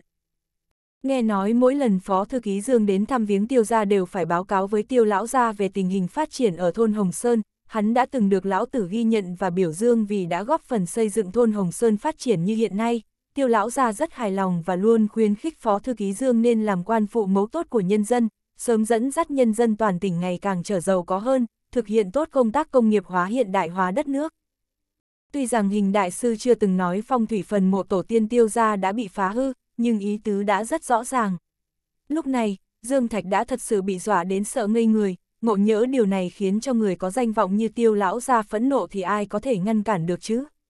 Hèn chi tiêu nhị ca vội vội vàng vàng gọi điện thoại cho hắn, bảo hắn phối hợp với hình đại sư. Chuyện như vậy, cho dù tiêu thiên không thể đích thân thực hiện thì hắn cũng có thể thay, bởi vì tiêu thiên là một thiếu gia quần là áo lượt, Dương Thạch hắn cũng gần giống vậy nên bọn họ ai đứng ra phối hợp với hình đại sư cũng tốt, cho dù ngày sau bị người khác phát hiện cũng không bắt được nửa điểm sơ hở nào cả. Người trẻ tuổi nào chưa từng làm ra việc hồ đồ, người có thể làm gì được họ chứ? Nhiều nhất là phê bình vài câu mà thôi. Nếu như đích thân cha của Tiêu Thiên Tiêu chạm đứng ra cấp cho Phó Thư Ký Dương một mệnh lệnh thì không thích hợp. Nhưng đây đúng là việc hệ trọng, không thể có nửa điểm xem thường được. Hình đại sư, vậy chúng ta phải làm như thế nào? Sau khi Dương Thạch hết cây iota ép sợ thì lập tức hỏi, vẻ mặt vô cùng chân thành. Tiêu phàm âm thầm gật đầu, Tiêu Thiên giới thiệu Dương Thạch này quả là không tệ, hắn là một người có suy nghĩ rất nhanh nhẹn, hắn không giống với những người bình thường, hỏi, hình đại sư sẽ làm như thế nào? Mà nói thẳng, chúng ta sẽ làm như thế nào? Hắn đã tự nhiên xem bản thân và hình đại sư như là đồng đội trong một chiến hào có chung một kẻ địch vậy. Khó trách hắn ở thủ đô cũng được con của những quan lớn vô cùng hoan nghênh. Ở trong vòng nha nội, cha bạn là quan lớn hay quan nhỏ cũng là một nhân tố tham khảo, nhưng muốn được mọi người hoan nghênh thì chủ yếu phải xem bạn đối nhân xử thế như thế nào, có làm tốt công việc hay không. Dương Thạch là một, đối tượng hợp tác, rất tốt. Tiêu phàm do dự nói. Dương Thiếu, việc này không thể chậm được, phải lập tức tiến hành ngay, nhưng mà cậu tốt nhất không nên ra mặt. Thôi như vậy đi, cậu ở lại huyện La Châu có quen biết ai không? Cũng không nhất định phải là một nhân vật đứng đầu, chỉ cần có thể ra mặt làm chuyện này là được. Có có, đại sư, người như vậy ta có thể tìm được. Đầu óc Dương Thạch xoay chuyển rất nhanh, lập tức gật đầu nói. Vị hình đại sư này làm việc quả thực là đem hắn đặt lên vị trí đầu, lời nói rất thuyết phục nên Dương Thạch cũng không muốn lộ mặt ở những chuyện như vậy. Mặc dù hắn chỉ là một cán bộ trực thuộc ở một tỉnh thành nhưng cha của hắn đúng là đang giữ chư phó thư ký, ở tỉnh ủy cũng đứng ở vị trí thứ ba, nếu thật để cho người khác nhìn thấy hắn tham dự vào chuyện xây dựng mộ viên, ngộ nhỡ liên lụy đến cha hắn thì không hay. Đây cũng là lý do mà Tiêu Thiên chỉ ở thủ đô gọi điện thoại cho hắn mà không tự mình chạy đến tỉnh Giang Hán này. Hình đại sư, La Châu có một phó huyện trưởng từng cùng tôi dùng cơm hai lần, xem như là có nhận thức, hắn họ Trần, tên đầy đủ là Trần Hiểu Minh, vừa khéo được phân công quản lý mảng du lịch ở đây, người cũng thông minh lạnh lợi, có thể làm chút việc. Ngài xem, tôi có nên gọi gọi hắn tới đây để ngài xem mặt không? Tiêu phàm mỉm cười gật đầu. Đừng xem bề ngoài Dương Thạch rất hời hợt nhưng hắn đã nghiêm túc giới thiệu vị phó huyện trưởng Trần Hiểu Minh này với Tiêu phàm thì tên đó nhất định làm nên việc, bởi vì chắc chắn Dương Thạch cũng hiểu rõ chuyện này không được phép làm hỏng. Được Tiêu phàm cho phép, Dương Thạch lập tức đi đến góc phòng 608 gọi điện cho Trần Hiểu Minh, giọng nói đã thay đổi hoàn toàn trở nên vô cùng lạnh nhạt, mang theo thái độ kiêu ngạo cùng cẩn trọng. Trần huyện trưởng, chào ngài, tôi là Dương Thạch, đúng, hiện tại, tôi đang ở trong huyện, đúng, ngay phòng 608, khách sạn Thiên Nguyên cùng một vị đại sư nói chuyện phím. Ừ, nếu ngài có rảnh đến đây một chuyến không? Được, tôi chờ ngài. Không dài dòng đã dứt khoát cúp điện thoại, khi Dương Thạch trở lại trước mặt tiêu phàm thì lập tức trở nên cung kính, khiêm nhường. Không đến một giờ đồng hồ, một cán bộ tuổi còn trẻ, khoảng 36, 37 tuổi thở hồng hộc chạy tới phòng 608, trên mặt và cổ chảy đầy mồ hôi cũng không lau đi mà cứ để bộ dáng đầm đìa mồ hôi như vậy vào cửa. phép tắc trong quan trường là vậy, luôn luôn phải biểu hiện tốt. Dương Thiếu, cán bộ trẻ tuổi cúi người chào Dương Thạch. Kỳ thực Trần huyện trưởng cũng nhìn thấy đại sư cùng vị nữ trợ thủ xinh đẹp nhưng vẫn làm như không để ý tới. Hắn là thủ hạ của Dương Thiếu thì dù sao cũng phải chờ Dương Thiếu giới thiệu thì hắn mới nên chào hỏi. Đây là điểm quan trọng nhất nên dù thế nào cũng không thể làm sai được. Nếu không thì ở trước mặt đại sư, Dương Thiếu sẽ không nói cái gì, chờ khi đại sư vừa phủi mông rời khỏi thì Dương Thiếu nhất định sẽ nhớ rất rõ ràng thái độ tồi này của hắn. Mặc kệ là người có chức quyền gì trên quan trường hay chỉ là một ông chủ nhỏ, nếu muốn đòi nhiều ông chủ đồng thời tốt với mình thì nhất định cuối cùng sẽ không có kết quả tốt. Dương Thạch lập tức cười, mắng. Trần huyện trưởng, thái độ gì vậy? Không thấy cao nhân đang ở đây sao? Đây chính là hình đại sư. Hiển nhiên, Dương Trạch tương đối hài lòng với thái độ của Trần Hiểu Minh, chỉ có điều nếu để ý thì từ đầu đến cuối Dương Thạch không có nhắc tới việc hình đại sư đến từ thủ đô. Cái vòng kia ở thủ đô cách một kẻ có vị trí phó huyện trưởng như Trần Hiểu Minh quá xa, không cần thiết để cho hắn dính vào mà hắn cũng không có biện pháp nào dính vào. Ngay sau đó, Tiêu Phàm mỉm cười, bắt tay với Trần Hiểu Minh, xem tướng mạo thì vận mệnh của vị phó huyện trưởng này cũng không tệ. Tiêu Phàm nói giản đơn một chút về tình huống, lập tức dọa Trần Hiểu Minh sợ đến kinh hồn bạt vía. Có người dám thay đổi phong thủy phần mộ tổ tiên của tiêu gia, việc này nghiêm trọng đến bực nào chứ? Huyện trưởng Trần, ngài hãy liên hệ nhân công đi, ngày mai chúng ta sẽ thi công xây dựng lại mộ viên, phải xây dựng lại hoàn toàn, tốc độ phải nhanh, chuyện này phải làm xong trong vòng 5 ngày. Còn về bản vẽ thi công thì này mai ta sẽ giao cho ngài, có vấn đề gì không? Tiêu phàm không nhiều lời, trực tiếp phân phó. Trần Hiểu Minh nhìn qua Dương Thạch một cái, lập tức nói.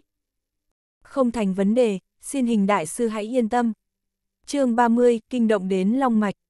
Biên tập, Vân Du. Nguồn, chuyện.org. Trần Hiểu Minh quả nhiên rất có năng lực, sáng sớm ngày hôm sau thì hai phía đã bàn giao công trình, một xe tải chở máy móc cùng với nhân viên thi công đã ủng ủng kéo đến phần mộ tổ tiên tiêu ra. Trần Hiểu Minh đích thân dẫn đường, theo sau còn có bí thư và chấn trưởng của Trấn Hồng Sơn, hình đại sư cùng với thư ký Lâm cũng đã ở trên núi. Tiêu phàm hóa thân thành hình đại sư thì đương nhiên Tân Lâm là thư ký Lâm rồi. Nhưng mà vị thư ký này có phần quá trầm mặt ít nói, vẫn luôn không nhanh không chậm đi theo hình đại sư mà không nói lời nào cả. Dương Thạch không có đến nhưng hắn cũng không có trở về Tam Giang mà đang ở phòng sát vách với hình đại sư, tại khách sạn Thiên Nguyên, huyện La Châu. Chuyện này nhất định phải được hoàn thành tốt, chờ khi hình đại sư nói lại với những người ở thủ đô và tiêu nhị ca nói với hắn, được rồi thì hắn mới có thể thật sự yên lòng. Mặc dù Trần Hiểu Minh rất có năng lực nhưng suy cho cùng cũng chỉ là một phó huyện trưởng, nay cả ban tử của huyện ủy cũng không vào được. Nếu chuyện khác thì cũng không nói làm gì, chỉ cần một cú điện thoại của Dương Thiếu thì lập tức có thể giải quyết, nhưng lần này là, động, ở trên phần một tổ tiên của tiêu gia nên Dương Thạch phải phá lệ cẩn trọng, ngộ nhỡ Trần Hiểu Minh không giải quyết được thì hắn nhất định phải đích thân ra mặt mới được. Việc thi công tiến hành tương đối suông sẻ. Đương nhiên, cũng không phải là không có người lời ra tiếng vào, khi dân chúng thôn Hồng Sơn thức dậy bỗng nhiên nhìn thấy đại đội nhân mã lên tổ sơn thì vô cùng hoảng hồn. Bên này vừa mới chuẩn bị thi công thì có một đám hơn 10 thôn dân cường chán chạy đến, tay cầm cuốc, sẻng, gậy gộc quát mắng bọn họ không được làm bậy, gương mặt rất là hung dữ. Cũng không thể trách dân chúng ở thôn Hồng Sơn khẩn trương được, bởi vì đây chính là phần mộ tổ tiên của tiêu lão gia, nằm trong lòng đất chính là cha mẹ ruột của tiêu lão gia. Động đến phong thủy phần mộ tổ tiên của tiêu gia thì không phải sẽ liên lụy đến toàn bộ thôn dân thôn Hồng Sơn sao. Trần Hiểu Minh, bí thư cùng với chấn trưởng lập tức tiến lên giải thích rõ ràng tình huống, nói với mọi người là huyện lý cùng với chấn lý tuyệt đối không hề có dụng ý xấu, bởi vì họ thấy phần mộ tổ tiên tiêu ra có phần, cổ xưa, nên huyện lý và chấn lý mới quyết định cho người tu sửa lại. Không cần người trong thôn bỏ tiền ra, đây là chuyện tốt, chứng minh lãnh đạo cấp trên tỏ ý quan tâm đến thôn Hồng Sơn. Các thôn dân vừa nghe thì có chút nửa tin nửa ngờ, nhưng vẫn không để cho bọn họ thi công. Bởi vì việc này, bọn họ không làm chủ được.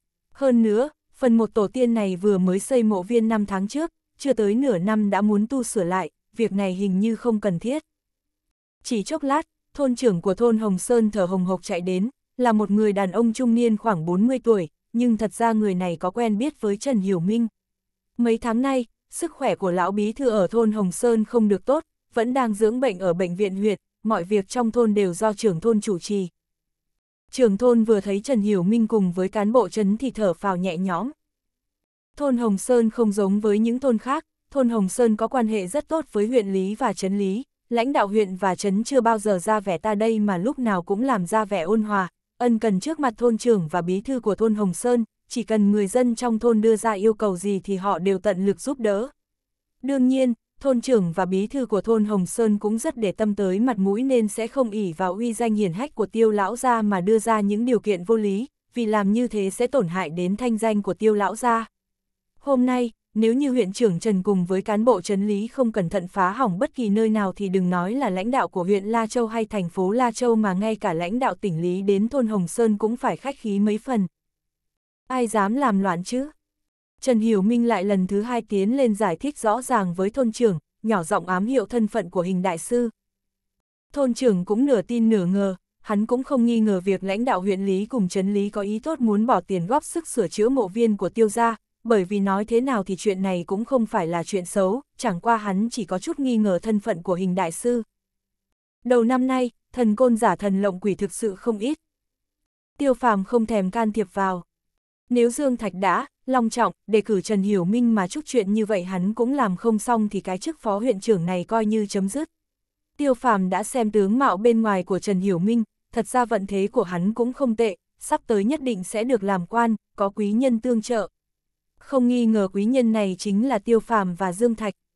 Tối hôm qua, Dương Thạch vô tình nhắc đến lãnh đạo ở huyện La Châu, nghe nói phó huyện trưởng thường vụ vừa mới được điều đi huyện khác làm huyện trưởng, cái ghế phó huyện trưởng thường vụ này liền trống. Ẩn ý rõ ràng như vậy nếu như Trần Hiểu Minh còn không hiểu thì làm sao có thể lọt vào mắt xanh của Dương Thạch chứ?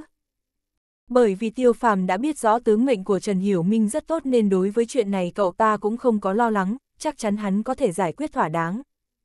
Trần Hiểu Minh dùng phương thức rất đơn giản để thuyết phục thôn trưởng nhưng hiệu quả lại cực cao, hắn trực tiếp nói với thôn trưởng, chờ việc này giải quyết xong xuôi thì huyện lý sẽ cấp cho thôn Hồng Sơn 10 vạn trợ cấp.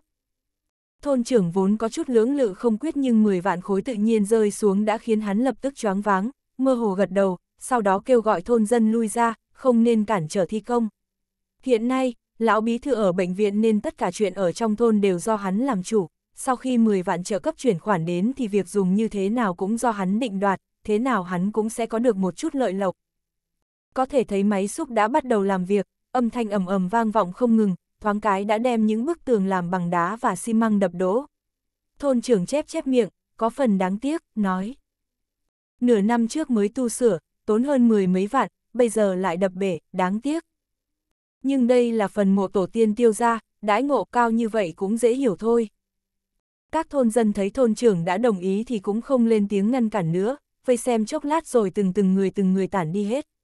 Sáng sớm, bọn họ vẫn còn bận rộn rất nhiều việc đồng án, ai rãnh rỗi để đứng trên ngọn núi này xem náo nhiệt cho lão Thái Dương chỉa vào đầu chứ. Chỉ có thôn trưởng cùng hai cán bộ gác thôn ở lại, nếu huyện trưởng Trần, bí thư trấn ủy cùng với trấn trưởng đều ở đây thì đương nhiên phải giúp đỡ một tay chứ. Trưởng thôn cẩn thận căn dặn kế toán trong thôn lập tức xuống núi chuẩn bị trà nước mang lên đây cho những người thợ giải khát. Tiêu phàm bước chậm rãi đến, vừa mỉm cười vừa quan sát trưởng thôn từ trên xuống dưới mấy lần. Trưởng thôn bị tiêu phàm nhìn như thế thì có chút hoảng sợ, liền cười hắc hắc, ngượng ngùng kêu lên một tiếng, hình đại sư. Những tên giả thần lộng quỷ này là thứ mà hắn không dám đắc tội, ngộ nhỡ hình đại sư này thật sự có vài phần bản lĩnh mà hắn lại không cẩn thận đắc tội người này thì chắc chắc sẽ không có kết quả tốt. Thôn trưởng, ta có một chuyện muốn hỏi. Sau khi quan sát trưởng thôn chốc lát thì hình đại sư lên tiếng, dáng hắn vẻ rất giống như một ông cụ. Gì? Trưởng thôn bị ánh mắt của tiêu phàm làm cho choáng váng, trợn to hai mắt huyện trưởng Trần đang đứng bên cạnh vội vàng lên tiếng. Lão Tiêu, hình đại sư muốn hỏi ông chuyện này. Ở trong mắt Trần Hiểu Minh, hình đại sư thật sự có tài nghệ, nếu không thì Dương Thiếu làm sao có thể đối với hắn khách khí như vậy. Tối hôm đó ở khách sạn Thiên Nguyên, Trần Hiểu nhìn thấy rất rõ ràng Dương Thiếu đâu chỉ khách khí với vị hình đại sư này mà dường như là rất cung kính. Mặc kệ hình đại sư này có lai lịch ra sao, nếu như Dương Thiếu kính cẩn như vậy thì Trần Hiểu Minh phải càng cố gắng lấy lòng hắn hơn. Sau này, chiếc ghế phó thường vụ có thể xuông sẻ ngồi lên được không thì phải xem hình đại sư và Dương Thiếu có chịu đề bạt hay không. Chuyện gì? Thoạt nhìn, vị trưởng thôn này không phải là một người có đầu óc nhạy bén, có phần chậm chạp. Tiêu phàm hỏi, mộ viên này được xây vào nửa năm trước sao? Mà lúc ấy, người nào đã đưa ra chủ ý này? Ai chi tiền? trưởng thôn thở phào nhẹ nhõm, vội vàng nói.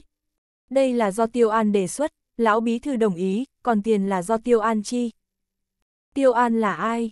Tiêu An cũng là người trong thôn chúng tôi. Trần Hiểu Minh thấy trưởng thôn có chút dây dưa không rõ, liền thay mặt trả lời. Hình đại sư, Tiêu An là ông chủ lớn ở thôn Hồng Sơn, mấy năm nay hắn ở bên ngoài buôn bán nhỏ, kiếm không ít tiền lời, thường xuyên quay về ủng hộ tiền bạc để xây dựng thôn. Đúng vậy, nhắc mới nhớ Tiêu An chính là cháu trai của Tiêu Lão Gia, nếu không phải năm đó. Khi đó hắn dẫn theo một thầy phong thủy đến, à, cũng là một đại sư, mặc áo bảo đạo sĩ, dáng vẻ rất lợi hại. Tiêu phàm mỉm cười, nói đến chỗ quan trọng rồi. Vị đại sư kia họ gì? Họ, trời ơi, tôi không nhớ được, à, hình như là họ nghiêm. Trưởng thôn gãi gãi đầu, ngượng ngùng nói. Vị trưởng thôn này cũng có chút hồ đồ. Cũng vì vậy mà hắn không có bị ảnh hưởng, trong lòng tiêu phàm đã rõ ràng tất cả, tự tiện di chuyển phong thủy phần mộ tổ tiên tiêu gia bố trí phong thủy sát trận như vậy để hại cả gia tộc tiêu gia người đề sướng và người tham dự không biết phải trả một cái giá nghiêm trọng cỡ nào. Có lẽ trưởng thôn không có dính dáng nhiều cho nên hắn không bị ảnh hưởng. Chỉ có điều nhìn tướng mạo thì số mạng mấy năm này của hắn khẳng định là số con dẹp, sẽ còn phát sinh một cơn bệnh nặng. Lão bí thư không phải đang nằm bệnh viện sao?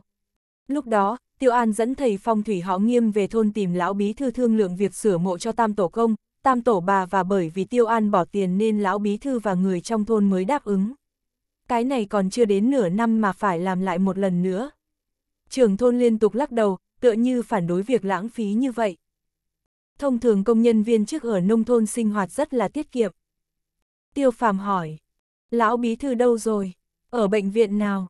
Trường thôn kinh ngạc nói, làm sao hình đại sư biết lão bí thư nằm viện? Tiêu phàm mỉm cười. Hắn có thể đến bây giờ còn chưa có đi gặp Diêm Vương ra cũng xem là mạng của hắn lớn nhưng có lẽ không còn kiên trì được bao lâu nữa đâu. Phong thủy sát trận có tác hại vô cùng khủng cây ta ép, không chỉ riêng người bị bày trận mà nếu như người bày trận không có trình độ uyên thâm, sớm tìm được người ứng kiếp thay thì tác hại sẽ vô cùng khủng cây ta ép. Bất cứ chuyện gì đều có hai mặt, không người nào có thể tùy tiện dùng thuật pháp để hại người mà không bị phản hệ cả. Ông ấy ở bệnh viện nhân dân huyện Lý, nhắc tới cũng rất kỳ quái, mộ phần tam tổ công và tam tổ bà sửa xong chưa đến mấy ngày thì cơ thể lão bí thư đã không tốt, đến bệnh viện kiểm tra thì mới phát hiện bị ung thư phổi. Thực là kỳ quái, lão bí thư lại không có hút thuốc lá thì sao lại bị ung thư phổi chứ? Trường thôn nói xong liếc nhìn tiêu phàm, trên mặt tràn đầy vẻ sợ hãi. Hắn mơ hồ cảm thấy chuyện lão bí thư đột nhiên bị ung thư phổi phải nằm viện có lẽ có quan hệ đến việc tu sửa một phần. Những thầy phong thủy này, ai ai cũng đều có vẻ thần bí khó lường như vậy. Trần Hiểu Minh cũng không khỏi âm thầm dùng mình một cái. Chớ nhìn hắn là phó huyện trưởng mà nghĩ hắn xem thường những chuyện tâm linh, thực ra thì trong lòng hắn cũng rất tin tưởng mấy chuyện này. Không ổn, không ổn rồi, tăng thợ cả đã xảy ra chuyện. Bên này đang trò chuyện với nhau thì tiếng máy xúc đã ngừng, ngay sau đó tiếng kinh hô của công nhân vang lên. Mọi người vội vàng nhìn sang bên kia, chỉ thấy một công nhân đang ngồi ở trong buồng lái của máy xúc, miệng đã sùi bọt mép, bất tỉnh nhân sự. Phá hủy đã kinh động đến long mạch. Sắc mặt trường thôn lập tức trở nên trắng bệch, như không còn một chút máu nào cả. Audio điện tử võ tấn bền. Hết chương 30